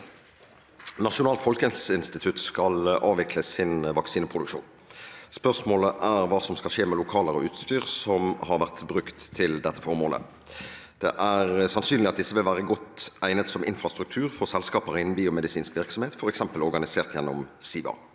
En slik løsning ville være i samsvar med tiltak beskrevet i Stortingsmelding 22 2011-2012, som het Verktøy for vekst om Innovasjon Norge og SIVA SF. Daværende helseminister Anne Grete Strøm-Eriksen lovet avklaring vedrørende bruk i løpet av høsten 2012. Og mitt spørsmål til eh, nåværende helse- og omsorgsminister er da hva er status i dag? Statsråd Gahr Støre. President, takk for spørsmålet. Vaksineproduksjonen ved Norsk folkehelseinstitutt har vært diskutert i flere år, eh, faktisk i flere tiår. president. Allerede i stortingsproposisjon 61 1999-2000 ble det gjort rede for at forutsetningene for vaksineproduksjon ved instituttet var endret. Endringene førte til at produksjon i regi av instituttet de siste årene bare har vært knyttet til produksjon av meningkokk B-vaksine i beredskapsøyemed og for salg til franske myndigheter. Det ble derfor, som representanten Warloe viser til, vedtatt at vaksineproduksjon ved Norsk folkehelseinstitutt skal avvikles. Vaksineproduksjonslokalene er lokalisert i Lovisenberggata 6 og utgjør 2300 kvadratmeter av et totalt 12 000 kvadratmeter stort bygg, som i sin helhet leies av Statsbygg til 2025. Tidspunktet for avvikling av vaksineproduksjon er ikke bestemt, men det vil være naturlig å se dette i sammenheng med at en framleieavtale for deler av lokalene utløper i juni 2017. Beslutningen om å avvikle vaksineproduksjonen har reist spørsmålet om hva som så skal skje med produksjonslokalene på 2300 kvm, og jeg oppfatter at det er det representanter ønsker status om. Statsbygg har på oppdrag fra Helse- og omsorgsdepartementet gjennomført en økonomisk og byggteknisk analyse av tre alternativer. 1. Folkehelseinstituttet beholder lokalene som omgjøres til annen virksomhet ved Folkehelseinstituttet. 2. Lokalene selges eller leies ut til privat aktør til markedspris og tre lokalene fristilles til å fungere som en del av klinikkbygg for Tannhelsetjenestenes kompetansesenter Øst. Statsbyggs konklusjon er at vaksineproduksjonslokalene bør stilles til disposisjon for pågående forprosjekt for nybygg og rehabilitering av instituttets lokaler på Linneren og benyttes til den delen av Folkehelseinstituttets virksomhet som best kan gjøre seg nytte av de avanserte tekniske anleggene, altså en løsning for Folkehelseinstituttet. Det kom fram av analysen at det vil være langt rimeligere å bygge om lokalene til annen laboratorievirksomhet ved instituttet enn å bygge nye lokaler for samme funksjon. Statsbygg mener at det er dette alternativet som på kort og lang sikt er mest fleksibelt med tanke på en eventuelt utbyggingsprosess for instituttet, bl.a. som erstatningslokale i byggeperioden. Leie til privat aktør, alternativ 2, ble vurdert som gjennomførbart, men både det og alternativ 3 vil medføre en merkostnad for staten fordi arealer for instituttet må plasseres i nybygg på en allerede presset tomt. På dette grunnlaget har regjeringen nylig besluttet at lokalene skal tilpasses annen ordinær virksomhet ved Nasjonalt folkehelseinstitutt og erstatte tilsvarende antall kvadratmeter nybygg i forprosjektet for nybygg og rehabilitering av Folkehelseinstituttets lokaler på Til oppfølging. Ehm, takk, president. Jeg vil eh, takke statsråden for eh, svaret, som jeg da oppfatter som et, skal vi si, en eh, endelig avklaring på, på disse lokalitetene og dette utstyret. Og med andre ord at det ikke vil være noen som helst mulighet for at de kan nyttiggjøres til formål som det som var intensjonen i mitt spørsmål, nemlig for ulike typer oppstartsvirksomhet, gründervirksomhet, privat virksomhet innenfor biomedisin eventuelt organisert gjennom SIVA. Er det da å oppfatte som en endelig eh, avklaring på det spørsmålet fra statsrådens eh, side? Statsråd Gahr Det er en riktig eh, oppsummering. og Jeg er glad for at Folkehelseinstituttet har fått nå avklart dette spørsmålet. Det er en veldig viktig institusjon for norsk helsevesen og norsk helsekunnskap, lokalisert på mange forskjellige steder i denne byen og i landet. Eh, og dette, eh, denne beslutningen som regjeringen har kommet til etter jeg vil si, svært moden overveielse og lang tid, det er fordi vi mener at det samlet sett gir Folkehelseinstituttet et bedre utgangspunkt, og at de andre alternativene hvorav framleie eh, til spesialisert virksomhet på det området som representanten eh, peker på, var ett av alternativene. Men vi kom altså til at dette var det beste. Jeg vil bare understreke betydningen av at vi slår ring om og gir dette instituttet gode arbeidsvilkår eh, fordi eh, kunnskapen der er så avgjørende. Jeg besøkte nylig Folkehelseinstituttet og fikk en bred orientering om det de driver med. Og Jeg tror denne beslutningen bidrar til å gi dem forutsigbarhet og de beste infrastrukturmulighetene som vi i dag kan tilby. Representanten Warloe, dersom det Det er det ikke behov for, eh, president, så da kan vi ta litt tidligere jul, i alle fall eh, på denne bakgrunnen. spørsmålet er besvart. Eh, Neste spørger er oppfattet at spørsmålet ble besvart. ja. Neste spørger er representanten Svein Harberg, og eh, kunnskapsminister Kristin Halvorsen skal svare.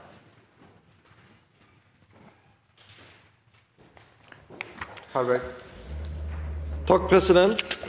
Jeg har følgende spørsmål til eh, kunnskapsministeren.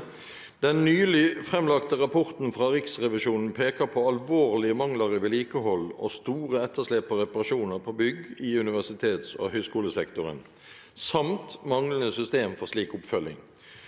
Dårligst står det til med bygg som eies av institusjonene selv. En slik mangel på vedlikehold truer etter hvert kvaliteten på tilbudet til studentene og arbeidsforholdene for de ansatte. Hvilke strakstiltak vil statsråden sette i verk for å rette på dette og utbedre bygningsmassen? Kunnskapsminister Kristin Halvorsen.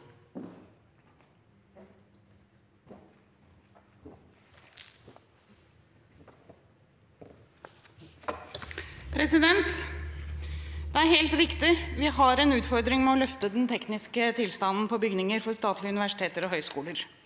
Institusjonene har også behov for funksjonelle og tilpasningsdyktige lokaler som er bedre tilpasset dagens og framtidas undervisning og forskning.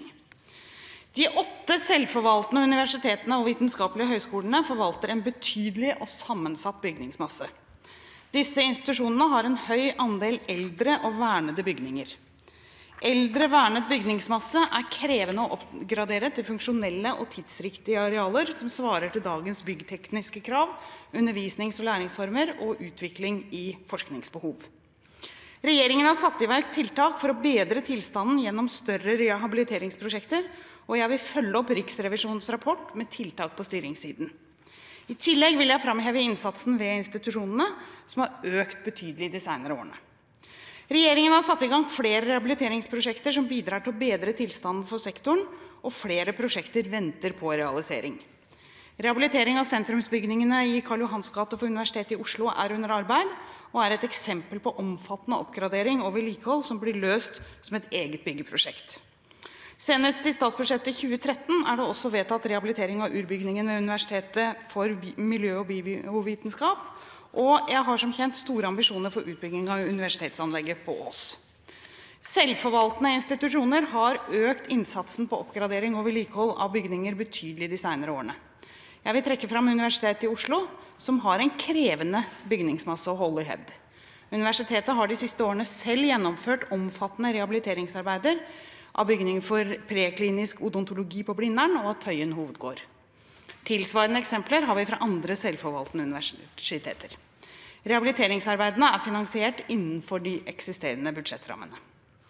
Oppfølgingen av vil jeg, eh, I oppfølgingen av Riksrevisjonens rapport vil jeg videre legge større vekt på at institusjonene har god styringsdata, behovsvurderinger og langsiktige vedlikeholdsplaner.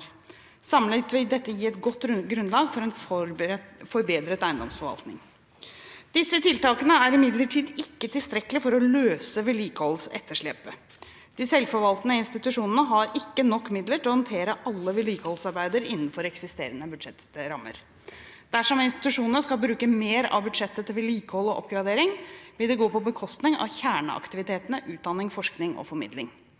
I årene som kommer må det derfor arbeides målrettet for å øke bevilgningene til dette formålet, for å sikre verdibevarende vedlikehold og nødvendig oppgradering av bygningene.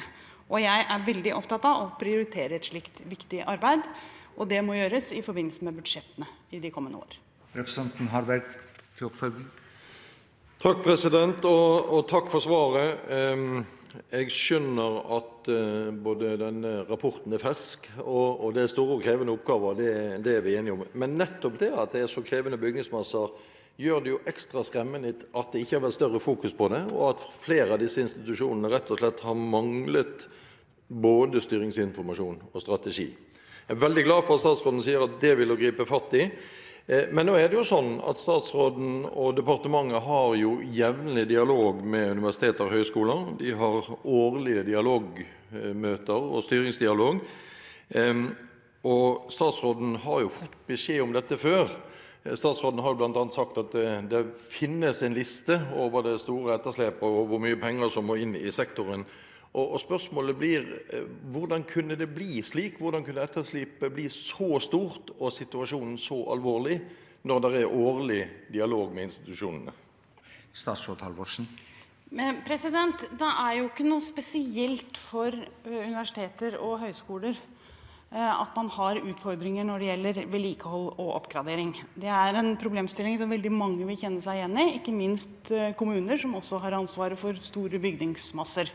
Og hele veien klare å holde eh, trykket oppe når det gjelder vedlikehold, det er ganske krevende i mange organisasjoner. Det er liksom ofte mye mer stas det man kan bygge nytt og som står der og skinner, enn å vedlikeholde det som, som er. Så jeg tror at det er utrolig viktig å innprente på alle områder eh, i samfunnet. Eh, og så skal jeg selvfølgelig følge opp eh, innenfor eh, høyskoler og universiteter. Fordi vi har nå ganske mange høyskoler og universiteter som er bygd på en tid hvor standardkrav var helt annerledes, og som trenger eh, oppgradering. Og til syvende og sist så ender jo det i et budsjettspørsmål. Det handler om både å ha oversikt over hva som er behovet, ha en strategi for hvordan det skal gjennomføres, og prioritere det i budsjettene. Takk, president. Ja, em, det er en utfordring mange steder med vedlikehold, men det er sjelden vi ser så alvorlige tall, for det er veldig alvorlige tall her. Dette er altså hverdagsplassen til 250 000 studenter og et par titalls tusen ansatte. Og da er det alvorlig når, når 74 av eh, høyskolebyggene er i dårlig teknisk stand, og, og 40 var det vel av universitetsbygningene. Det er for store tall, og det er jo det som er skremmende. Og, og jeg la merke at statsråden eh, sa at nå er mye gjort, og det går fremover. Ja, rapporten viser jo at andelen bygg i dårlig teknisk stand øker, faktisk. Og da, da går det feil vei. Eh, Så kan det ha noe med handlingsrom, og det kan ha med litt forskjellig å gjøre. Eh, Det å få på plass kompetanse til å ha systematisk oppfølging i institusjonene tror jeg blir en viktig oppgave. Og så håper jeg at statsråden, og det ønsker jeg, at hun kan ta en velfortjent og god juleferie. Og så at hun bretter opp armene rett etter jul og prøver å få innarbeidet midler i revidert budsjett, slik at vi kan komme i gang. Statsråd Halvorsen. Eh, President, jeg eh, vil gjerne kvittere på denne ønsket om god jul og gjøre det samme til representanten Harberg og takke for godt samarbeid. Og jeg er veldig opptatt av at vi felles har kunnskaper om de store behovene vi har når det gjelder vedlikehold og investeringer innenfor høyskole- og universitetssektoren, og at det kan bli en, en enighet også i Stortinget om at dette må være prioritert eh, framover. Og det tror jeg også henger sammen med de prioriteringsdiskusjonene vi skal ha når det gjelder utdanningsinfrastruktur og forskning. Alt dette eh, henger sammen. Eh, Jeg skal eh, komme tilbake til dette i, eh, i forbindelse med budsjettene. Det er sånn at De selvforvaltende institusjonene bruker 300 millioner kroner årlig på vedlikehold, men de har også store behov, fordi det er krevende å, eh, å ha ansvar og eie gammel bygningsmasse, også, når også en betydelig del av det er vernede bygninger. Det krever rett og slett ganske mye utover eh, å prioritere plass til studentene og gode betingelser for det. Så jeg gleder meg til godt samarbeid om disse utfordringene i 2013. Spørsmålet er besvart. Neste spørger er representanten Jan Henrik Fredriksen, og samferdselsminister Marit Arnstad skal svare. Fredriksen. Takk, eh, president. Eh, Aller først så eh, vil jeg ønske statsråden en god og fredfull jul. Men president, en samlet norsk entreprenørbransje innen jernbaneteknikk sier at markedet ikke fungerer tilfredsstillende. Det er særlig mangel på forutsigbarhet som bidrar til denne situasjonen, som i 2012 har medført oppsigelser, permisjoner og konkurser. Er regjeringen tilfreds med den forutsigbarhet markedet opplever? Statsråd Arnstad. President, Først så vil jeg også få lov å ønske god jul til representanten. eh, Og takk for eh, ønsket til meg. Eh, Jeg er enig i at forutsigbarhet er viktig for leverandørmarkedet. Eh, Jernbaneverket har bl.a. etablert en prosjektoversikt på sin hjemmeside der alle prosjekt og oppdrag gjøres kjent for utlysing av konkurranse. Det gjøres for å prøve å øke forutsigbarheten og også bedre mulighetene for planlegging eh, i forhold til oppdrag. Jernbaneverket opplyser at tilbakemeldinga fra bransjen på det tiltaket har vært positiv, og Jernbaneverket arbeider videre med å gjøre en sånn type oversikt bedre. I tillegg gjennomføres det også informasjonsmøter i samarbeid med Statens vegvesen på prosjektbasis og gjennom bransjemøter der planer også blir bekjentgjort. Gjennomføringa av nye prosjekt skjer i en fastlagt rekkefølge ved at Jernbaneverket først utlyser anbud på grunnentrepriser og utbygging av selve banelegemet, mens utlysing av jernbanetekniske entrepriser kommer til slutt i utlysningsprosessen. Flere av de igangsatte prosjektene nærmer seg nå fasen for jernbanetekniske arbeid, og Jernbaneverket vil tildele flere store jernbanetekniske entrepriser i 2013. Jernbaneentreprenørene er godt informert om disse prosjektene, både gjennom Jernbaneverkets hjemmesider og i bransjemøtene.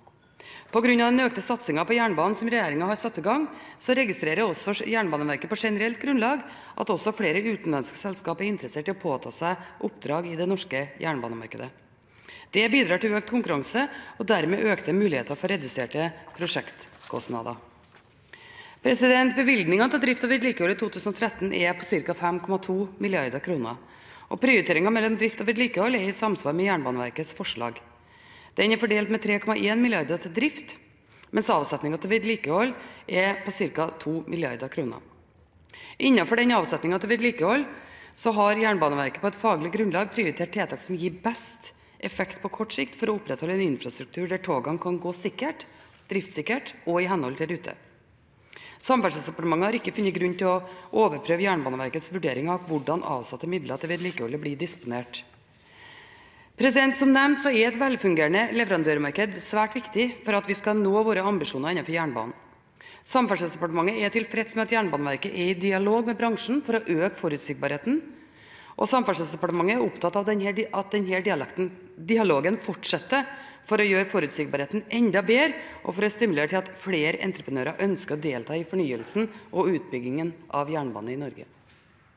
Fredriksen til oppfølger. Eh, jeg takker for eh, svar, eh, men jeg opplevde jo noe underlig da når statsråden hevder at her er det åpenhet og markedet fungerer bra, mens det i virkeligheten er slik at en samlet entreprenørbransje i Norge hevder det motsatte.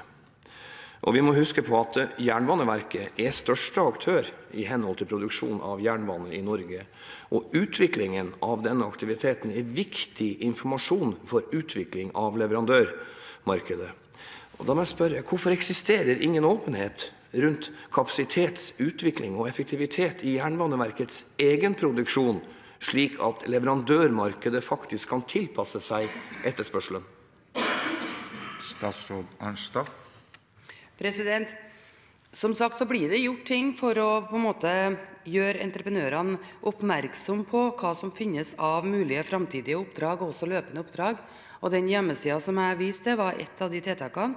I tillegg også da informasjonsmøter i, regi eller i samarbeid med Statens vegvesen mer på prosjektbasis.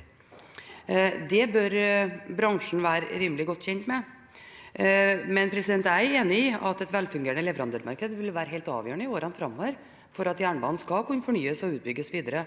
Samferdselsdepartementet har også tatt kontakt med Jernbaneverket, senest nå i desember, for å avtale nye møter der det er mulig å gå gjennom situasjonen når det gjelder eh, muligheten for å utvikle samarbeidet med eh, leverandørmarkedet på en bedre måte enn i dag. Den type dialog vil fortsette utover i første halvår neste år. Representanten eh, Fredriksen. President, det er slik at Mange entreprenører har blitt rammet av delvis kanselleringer av store entrepriser fra Jernbaneverket i 2012-2013.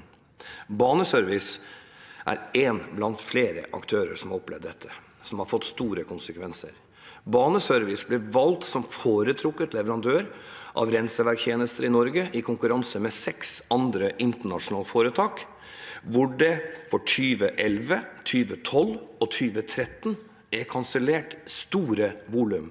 Hvorfor prioriteres ikke viktige vedlikeholdsoppgaver som er bestemt av Stortinget og nedfelt i Jernbaneverkets vedlikeholdsprogram? Statsråd Arnstad.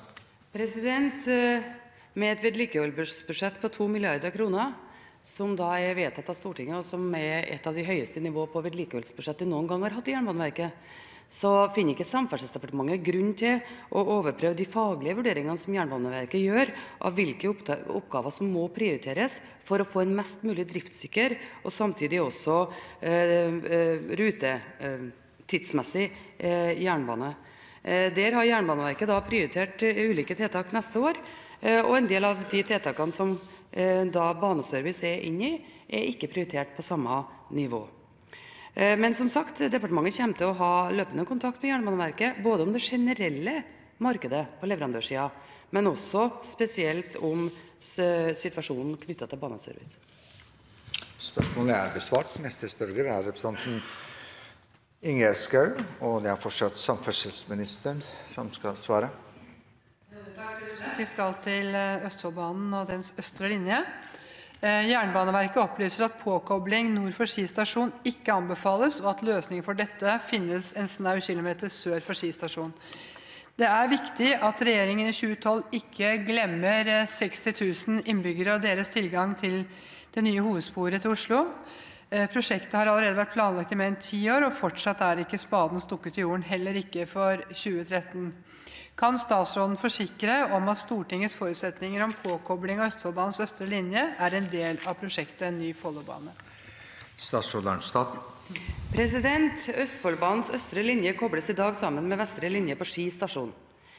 Arbeidene med nye Ski stasjon endrer ikke det. Østre linje skal fortsatt kobles til nye Ski stasjon. Det gir mulighet for at tog til og fra østre linje kan kjøre på Follobanen fra det tidspunktet et nytt dobbeltspor åpner for trafikk. Det er gjort rede for den framdriftsplanen for Follobanen i statsbudsjettet for 2013, og byggestart for Follobanen planlegges i 2014. Prosjektet kan dermed sannsynligvis ferdigstilles i løpet av 2019. Framdriftsplanen tilsier et nytt og forbedret togtilbud i 2020.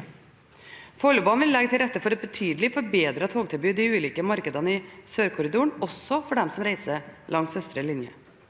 Jeg kan forsikre representanten Schou om at regjeringen er opptatt av transportbehovet til dem som reiser til og fra Indre Østfold, og at tog til og fra østre linje vil kunne benytte Follobanen fra dag én. Departementet er kjent med at det er fremmet innsigelse til reguleringsplanene for henholdsvis nye Ski stasjon og Follobanen. Innsigelser er fremmet av en rekke kommuner i Indre Østfold samt Østfold fylkeskommune. Saken skal nå til megling hos Fylkesmannen i Oslo og Akershus, jeg ønsker ikke å kommentere innsigelsene nærmere nå, men departementet vil selvsagt følge denne saken tett. Representanten Skau til oppfølging. Ja, mange takk, eh, president. Ja, eh, Meklingsmøtet er berammet 11. eller 15., og jeg er godt kjent med både behandlingen i fylkeskommunen og i kommunene, og at eh, stats, takker også statsråden for at hun tok imot delegasjonen fra fylkeskommunen og kommunene i et møte som både var avvist og utsatt tidligere, men at dette fore, ble funnet sted da denne uken her. Follo-prosjektet har økt fra 9 til 23 milliarder, og stadig dukker det opp nye forhold. Eh, utfordringen eh, for disse kommunene er at hele forutsetningen for østre linje var at dette skulle kobles på det nye eh, Follobanen og Follo-prosjektet, og diskusjonen har kommet opp fordi man plutselig definerte fra regjeringens eget organ at det ikke var hensiktsmessig nord for, men sør for Ski stasjon for å få til en planfri påkobling. Ski stasjon er selvfølgelig et godt sted å både gå av og på hvis man skal bytte tog til andre formål, men utgangspunktet her har vært en planfri tilkobling. Kan statsråden garantere at så skjer enten nord for eller sør for? Statsråd Arnstad. President, eh, for det første er jeg enig med representanten i at Follobanen er et eh, viktig, men samtidig også komplisert prosjekt, eh, og at kostnadene i prosjektet har økt betydelig. En del av årsaken til det er jo også at dette prosjektet er jo et prosjekt som skal eh, ikke bare lages en tunnel gjennom fjellet, men det skal også kobles godt og nøye inn til både Oslo S og også til den nye skistasjonen. Jeg kan ikke annet enn å forsikre representanten Skau om det som jeg har sagt tidligere, at regjeringen er opptatt av problemstillinger når det gjelder påkobling fra østre linje. Eh, at vi ønsker at det skal bli et best mulig transporttilbud for dem som reiser fra, til og fra Indre Østfold, og at tog eh, fra østre linje skal kunne benytte Follobanen fra dag én. Eh, jeg synes også det er viktig å påpeke at eh, den, det møtet som ble holdt i departementet, synes jeg var et positivt møte. kom fram mye positiv informasjon, og jeg tror vi har grunnlag for en positiv dialog framover.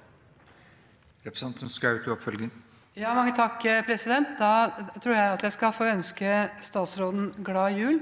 Eh, med et godt arbeid hvor østre linje er sikret eh, en konsekvensvalgutredning hvor man garanterer, slik statsråden nå gjør, for at østre linje blir koblet på planfritt som en del av eh, det nye Follo-prosjektet, og at begge alternativene nord for og sør for blir holdt åpne, slik at muligheten ligger der for ikke bare at man må få stopp og vanskeligheter rett på Ski stasjon, som jeg hørte også statsråden svarte når vi hadde budsjettdebatt i denne salen. Jeg tror det er viktig at Eh, forutsetningen som lå der hele tiden, og som er grunnlag for kommunenes innsigelser, nemlig at man opplevde at regjeringen og dermed Jernbaneverket ikke fulgte planprosessen og, kravene i loven om at kommunene skulle være hørt, ikke blir grunnlag for at innsigelsene opprettholdes, men at det løses det beste eh, for innbyggerne, og at dette skjer planfritt. Statsråd Arnstad.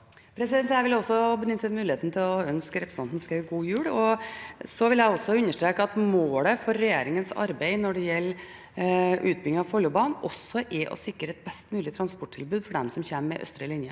Det er det overhodet ingen tvil om. Jeg opplever den dialogen som vi nå har kommet inn i, som positiv. Eh, og vi vil selvsagt eh, følge nøye både de meglingsprosessen som vil foregå hos Fylkesmannen, og også da den videre dialogen og samtalene med kommunene i området.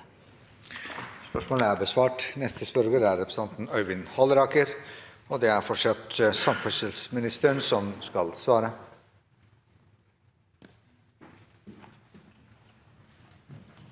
Halleraker. Ja, takk, president. Vi er på vei inn i julehøytiden. De siste dagene før julaften vet vi at det blir en reisekonsentrasjon hvor flyene er fullbooket, eh, togene fulle og veiene travle. Folk skal hjem til jul. Dette gir en eh, ekstra sårbar eh, situasjon for mange, som er avhengig av det offentlige, at det offentlige har gjort jobben med å sikre nok kapasitet i reisetilbudet, men ikke minst også på beredskapssiden. Hva har statsråden gjort for å sikre at kapasitet og beredskap er god nok, slik at folk kan være trygge på at de rekker hjem til jul i tide? Statsråd Arnstad.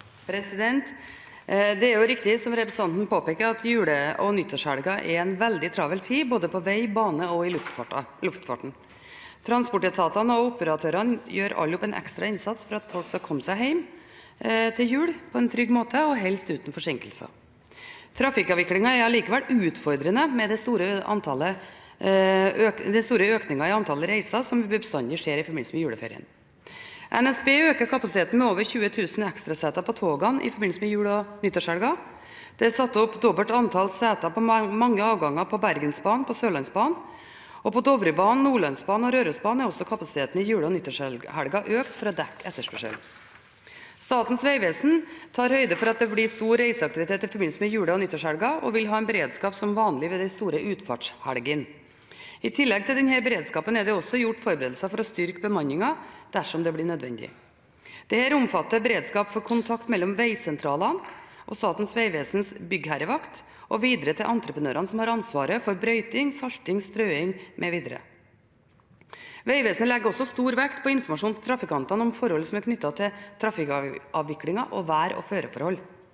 Statens vegvesen har en omfattende medieaktivitet, inkludert sosiale medier, for å spre trafikkinformasjon så raskt og så målrettet som mulig. Et eget informasjonsopplegg spesielt rettet mot reisende i julehelga vil bli gjennomført denne uka. her. God avvikling av juletrafikken har også stor oppmerksomhet hos Avinor. Som ved andre tunge utfartsperioder så stanses planlagt vedlikehold på sentral infrastruktur, som f.eks. bagasjeanlegg, heiser og rulletrapper. Og det er tett dialog med alle parter på flyplassene og i lufttrafikktjenesten, og alle aktører melder at de forbereder seg godt til juletrafikken i år. Jeg er kjent med at det er noen udekka vakter innen lufttrafikken på Østlandet, men Avinor har forsikra at det likevel ikke er noen indikasjon på at det vil få konsekvenser for trafikkavviklinga idet de forventer å dekke opp de vaktene. Det som skiller juletrafikken fra andre trafikkperioder med tung trafikk, er at det er mer bagasje per passasjer. Det er flere gaver som skal hjem, og det er også større usikkerhet knyttet til værforholdene. Og Det gjenspeiles også i den beredskapen som etableres i forbindelse med juletrafikken. Det er allikevel viktig å understreke at vanskelige værforhold vil kunne påvirke trafikkavvikling, ettersom sikkerheten bestandig vil ha eh, første prioritet, og det gjelder jo selvsagt alle transportformer. Representanten Halleraker. President, eh, Jeg vil takke for svaret. og Så tar jeg også sjansen på å takke på vegne av de mange tusen som er på reisefot i forbindelse med julehelga. Så får vi bare håpe at eh, de beredskapstiltak som er iverksatt, er de riktige og er tilstrekkelige. Det høres bra ut, eh, slik at alle kommer seg trygt og sikkert hjem til, til jul. Så president, Jeg har faktisk ikke noe oppfølgingsspørsmål, eh, men jeg vil gjerne få lov å ønske statsråden en riktig god jul i vente, som det heter på Vestlandet. Og legge til at jeg håper også at du får rolige dager og ikke må på jobb for å håndtere situasjoner i Samferdsels-Norge. Så ser jeg fram til å møtes på nyåret til nye tak. Ønsker statsråden å svare? Jo, takk. Jeg vil også gjerne få lov å ønske representanten Halleraker god jul. og Jeg håper også at vi med de tiltakene som iverksettes, skal kunne sørge for å få alle som skal til og fra juleferie, hjem på en fornuftig måte. Litt ulike utfordringer på vei og bane og luftfart, men eh, etatene er godt forberedt på det som står foran oss. Så får vi håpe at det blir en rolig og trivelig julehelg. Neste spørger er representanten Arne Sortvik. Samferdselsministeren vil besvare.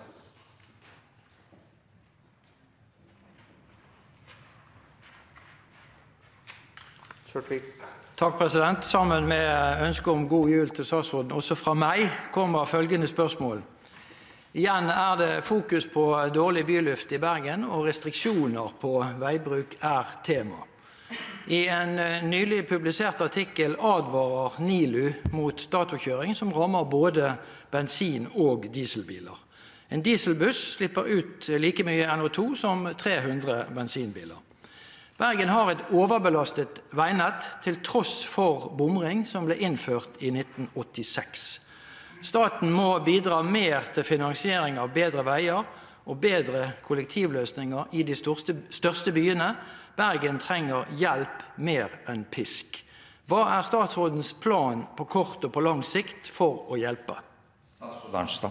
President, For å oppnå et godt bymiljø og samtidig god framkommelighet så er det nødvendig med restriktive tiltak rettet mot privatbiltrafikk, kombinert på en bedre satsing på kollektivtilbud, gang og sykkel.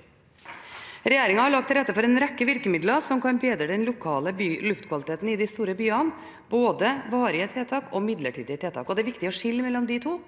fordi at uh, Midlertidige tiltak er selvsagt aktuelt å iverksette når luftkvaliteten i de store byene blir svært dårlig, særlig da på vinteren mens varige tiltak er tiltak som da skal forandre transportmønsteret over tid. Tiltak av varig karakter vil ha en effekt på årsmiddelet av NO2 og vil bidra til å forebygge og redusere overskridelse av timemiddelet av NO2.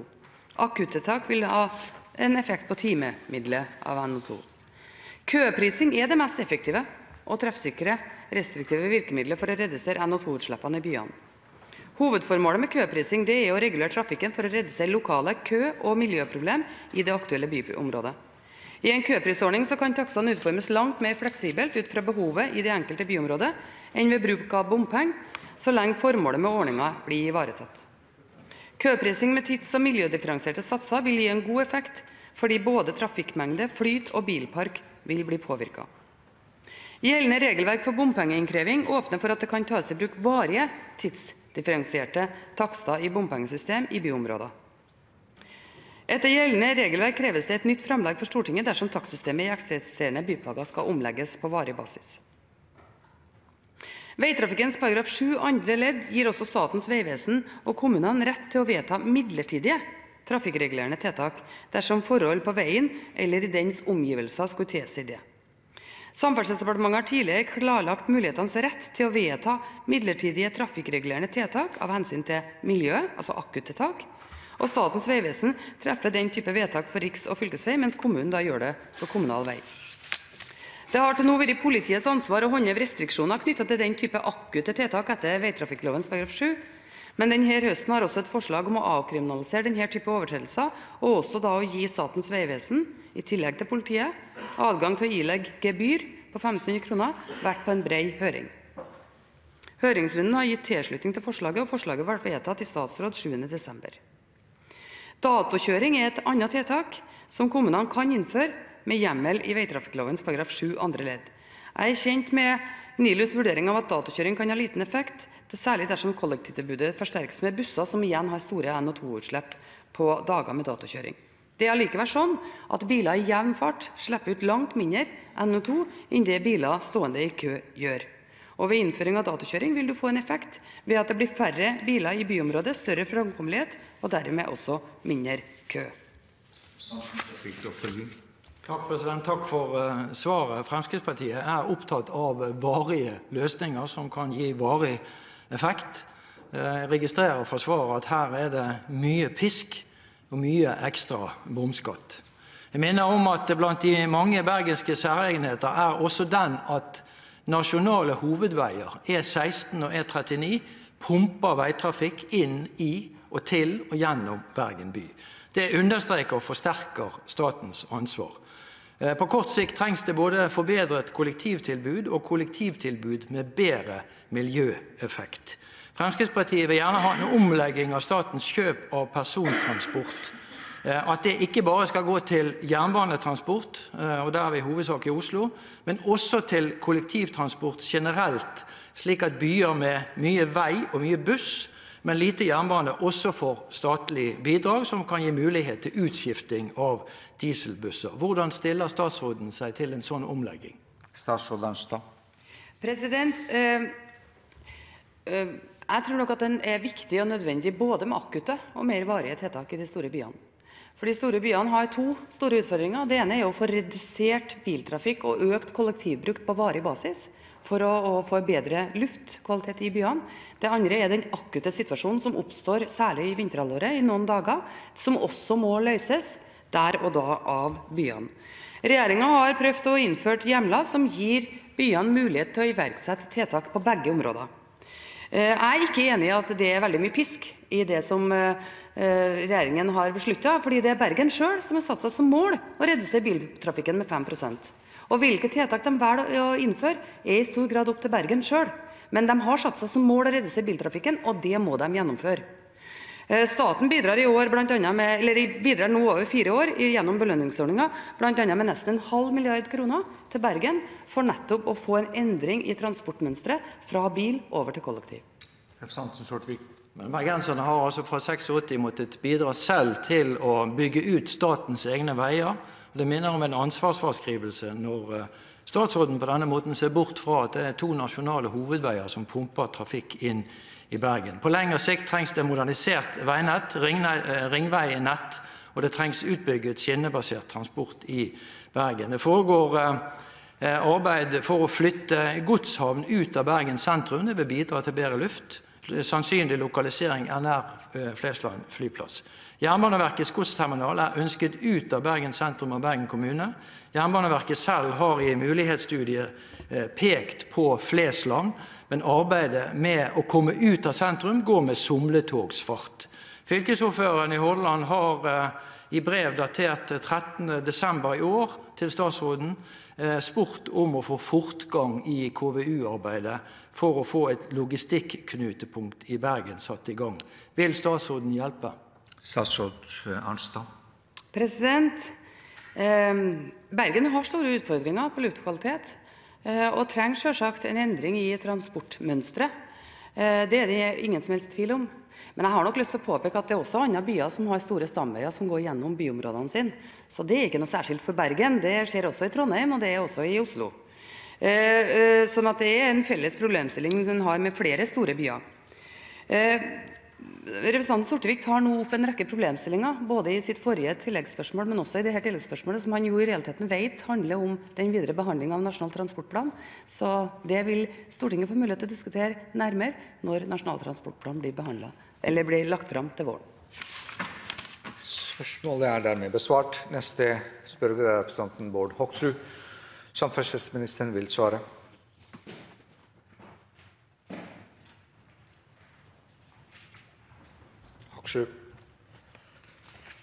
Takk for det, president. Kjøretøyforskriften ble i henhold til ECE-regulativ R115 endret i 2008, slik at det kreves dokumentasjon fra bilprodusentene på at avgassystemer er tilpasset LPG-gassdrift i hver enkelt bilmodell før ombygging kan godkjennes.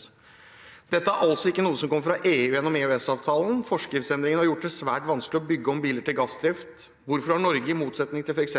Tyskland, innført dette regulativet som et krav, og hvor mange av våre naboland har gjort det samme? Statsråd Arnstad. President, eh, Regjeringen er opptatt av å legge til rette for en miljøvennlig kjøretøypark, men en er også opptatt av sikkerheten på norske veier og sikkerheten knyttet til norske kjøretøy. Omlegging av en bensindrevet bil til LPG-drift vil kunne ha marginal positiv påvirkning av CO2-utslippet, men det vil kunne påvirke bilens øvrige miljøegenskaper og også sikkerhet. Den type ombygging vil derfor påvirke bilfabrikantens ansvar i forhold til typegodkjenninga av bilen. For å ivareta den type utfordringer så har Vegdirektoratet valgt å stille krav om godkjenning i henhold til ECE-regulativet 115. Disse bestemmelsene innebærer at kravene til ombygging tilpasses hver enkelt bilmodell, bl.a. for å sikre en forsvarlig installasjon av drivstoffsystemet, sånn at risikoen for bl.a. gasslekkasjer minimeres. Bestemmelsen skal videre sikre at utslippene av stoffer som NOx og hydrokarbon ikke øker som følge av omleggingen til LPG-drift. Godkjenning i henhold til regulativet innebærer også at ansvaret for sikkerhets- og miljøbestemmelsene overføres fra bilprodusenten til produsenten av konverteringssettet. Før godkjenning etter regulativ 115 ble innført i 2008, så hadde vi et nasjonalt regelverk for ombygging til LPG-drift.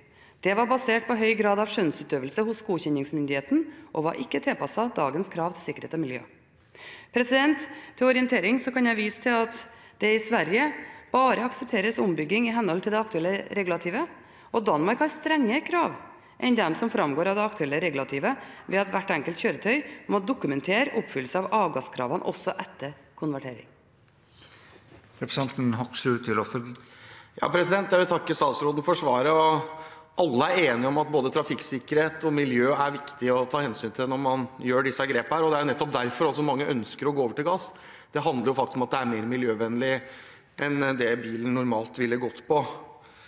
Men det er også en kjensgjerning at utstyr som tilfredsstiller R115 ikke nødvendigvis er av god kvalitet og sikrer lave utslipp over tid. Og De største og mest anerkjente leverandørene har, har ikke fått dette på plass for alle biltyper. Og Kan statsråden tenke seg å utsette eller altså stoppe den måten vi gjør det på her i Norge, og se på andre land, f.eks. Tyskland, Frankrike og andre, og se om man kan ta etter det de gjør? For jeg tror jo at det er sånn at enten man er tysker eller franskmann, så er man opptatt av trafikksikkerheten til bilistene som kjører på veien. Og det er et sterkt ønske om å flytte og få enda mer av trafikken over på, eller altså enda flere av bilparken over på gass, fordi det er en veldig miljøvennlig og bra måte og, eh, og fungerer veldig godt i byer. Statsråd Arnstad. President, Undersøkelser viser vel foreløpig at LPG som drivstoff har et potensial til å gi rundt 10% lavere CO2-utslipp enn bensin generelt sett. Eh, men for å utnytte det potensialet så må også drivstoffanlegget være tilpasset det originale motorstyringssystemet. Eh, Regjeringen har ingen eh, intensjon om å lempe på dette regelverket per i dag. Vi vil fortsette å forholde oss på samme linje som de, våre nordiske naboer, fram til vi eventuelt får dokumentasjon på at det er aktuelt å gå over til, et annet system, som da vil være Eh, bedre både trafikksikkerhetsmessig og også miljømessig. Representanten Hoksrud. Eh, det virker nesten på meg som at statsråden bare har fått noe overlevert fra noen byråkrater i Vegdirektoratet. Eh, når jeg hører at statsråden altså prater om 10% reduksjon, så er det helt andre ting som de som driver i bransjen sier at man vil redusere utslippene med, enn det statsråden nå forfekter. Når det gjelder trafikksikkerhet og dette med fare for eh, eksplosjoner og den type ting, så er det altså umulig eh, med det utstyret som norske leverandører bruker, å eksplodere denne tanken som skal eh, ta vare på og ikke minst sikre trafikksikkerheten ved en eventuell kollisjon eller andre type ting. Så jeg håper jo virkelig at statsråden ikke bare tar alt som hun får fra Vegdirektoratet eh, og tydeligvis noen byråkrater i Veidirektoratet for god fisk, men faktisk også går ut og lytter til de som har god kompetanse på dette her, som ønsker å komme i dialog med statsråden, men som ikke når fram og ikke får møte statsråden og får lov å legge fram sitt syn.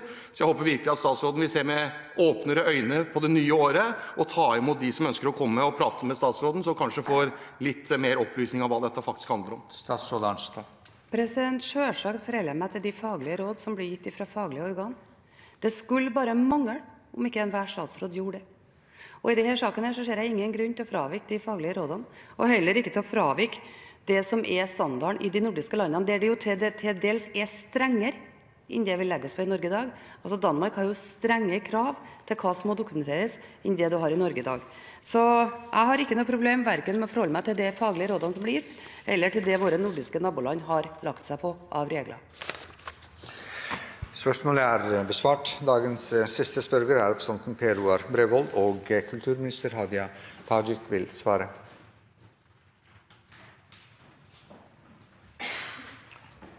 Brevold. Ærede president.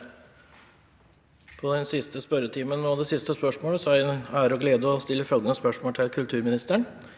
Det virker som det er liten interesse for regjeringen å bidra økonomisk til markeringen av Alf Prøysens 100-årsjubileum i 2014. Er ikke den folkekjære Prøysen verdig en markering på lik linje med andre kulturpersoner som har fått en slik heder for sitt arbeid? Statsråd eh, Hadia Tajik. Gode president. Jeg er enig i at eh, Prøysen er folkekjær, og at den er verdig en markering. Alf Prøysens 100-årsjubileum vil bli markert på godt vis i 2014. Det er ikke sånn at det er Kulturdepartementet selv som organiserer arbeidet når viktige forfattere skal markeres. Det er departementet overlatt til Nasjonalbiblioteket, som disponerer midler til ulike tiltak i forbindelse med markeringen av kjente personer. I 2012 har Nasjonalbiblioteket vært med på å markere bl.a. Torbjørn Egner og Peter Kristen Asbjørnsen det har blitt gjort i samarbeid med andre aktører, sånn som f.eks. Dyreparken i Kristiansand, Cappelen Dam, Riksteatret, Egmont, Norsk barnebokinstitutt, Nationaltheatret, NRK, Nasjonalmuseet og Folkemuseet. Nå er Det sånn at det er Nasjonalbiblioteket som har hovedarkivet etter Alf Prøysen. Det inneholder eh, skriftlig materiale, det inneholder eh, noter, kringkastingsmateriale og musikk. Og Med det som utgangspunkt vil Nasjonalbiblioteket i 2014 lage en utstilling om Alf Prøysen. Det vil bli organisert arrangementer knytta til denne utstillinga, og det vil bli produsert en plakatutstilling som vil bli sendt til alle landets folkebibliotek. Nasjonalbiblioteket er i dialog med ulike samarbeidspartnere om flere tiltak. Det gjelder bl.a. Prøysenhuset og etterkommerne til Alf Prøysen. Og Nasjonalbiblioteket er òg med i planleggingskomiteen for markeringa i Hedmark. Til slutt president, la meg også få nevne at bevilgningene til Hedmark fylkesmuseum er økt med 1 million kroner i 2013, nettopp for å markere 100-årsjubileet for Alf Prøysen. Statsråd representanten Brevold. Herre president, Jeg takker statsråden for uh, svaret. Det er vel ingen uh, annen norsk kulturperson som har betydd så mye for folk flest. Uh, Alf Prøysen ga liv, tanker og håp for framtida på en veldig fin og, vanlig måte. Han brukte ord og setninger som folk forsto, og forstår fortsatt. Og jeg tror uh, store deler av Norges befolkning har opplevd Prøysen både som barn og som voksne, og har hatt veldig, veldig stor glede av det. Når jeg prater med de som uh, har ønske å jobbe med dette, her, f.eks. Prøysenhuset og andre som står det nært, så har ikke de den forståelsen for at det blir gitt noe særlig hjelp i forbindelse med både forberedelser i 2013 og selve markeringa i 2014. Det har sågar vært slik at det er enkeltpersoner, privatpersoner, lag og organisasjoner og kanskje og forholdsvis rike folk som ønsker å være med og markere dette for å nettopp vise den betydning Alf Prøysen har hatt. Og Der mener vi at regjeringen og staten ikke har bidratt nok. Gode president. Eh, staten bidrar her på samme måte som vi gjør eh, i markeringen av andre eh, kjente forfattere, bl.a. som sagt Egner og Asbjørnsen. Vi bidrar gjennom Nasjonalbiblioteket, som har fått satt av flere millioner kroner til å jobbe nettopp med markeringen av ulike forfattere. Og vi bidrar òg gjennom midler til Hedmark fylkesmuseum. Og jeg har registrert det private engasjementet, og jeg ønsker det velkomment her. Sånn som jeg ønsker det velkommen på andre områder. Jeg syns det er utelukkende en positiv ting når private ønsker å supplere det offentlige engasjementet. Jeg må innrømme president, at jeg, eh, selv om jeg deler representanten Bredvolds engasjement eh, for Alf Prøysen, likevel ser vi en viss undring på eh, hvor vilkårlig det er man velger seg hvilke forfattere det man engasjerer seg for. Man skulle kanskje tro at det var litt etter samme prinsipp som en vise for gærne jenter. En er for gammel, den kan forstå. En er for ung, den går mye ifra. Og så velger man seg en som man knytter et sterkt engasjement til. Statens engasjement er bredt til alle store norske forfattere, og det går først og fremst gjennom Nasjonalbiblioteket. Representanten Brøvold. Herre president, jeg takker statsråden nok en gang, og samtidig så vil jeg ønske statsråden en god jul og godt nyttår, og samme til presidenten. Og så til eh, svaret jeg fikk nå, så, så er jeg egentlig ikke fornøyd nok. Jeg, jeg mener at eh, det skal mye til. Altså, det skal litt penger til, og det skal eh, velvilje til for at vi skal markere Prøysen på en verdig måte. Og vi har såkalt finkultur, og vi har breddekultur, og vi har kultur for folk flest.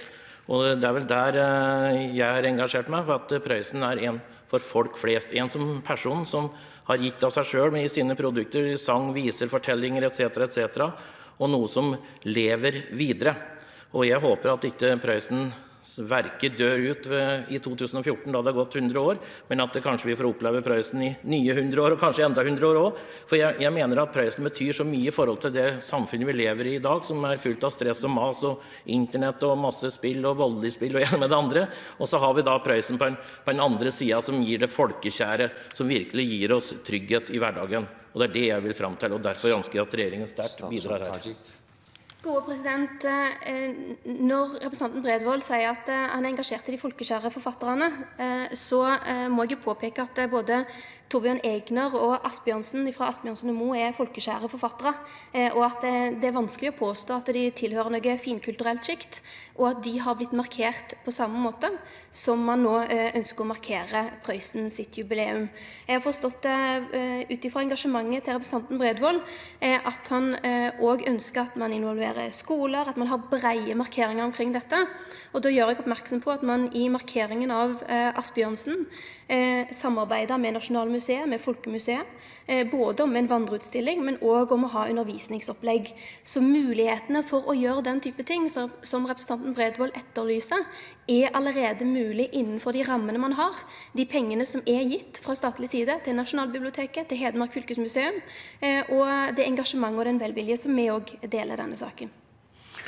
Spørsmålet er besvart. Sak eh, to er dermed ferdigbehandlet. Sak tre er referat. Det foreligger ingen referat.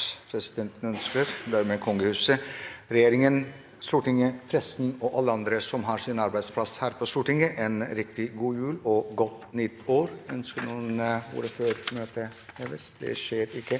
Møtet er hevet.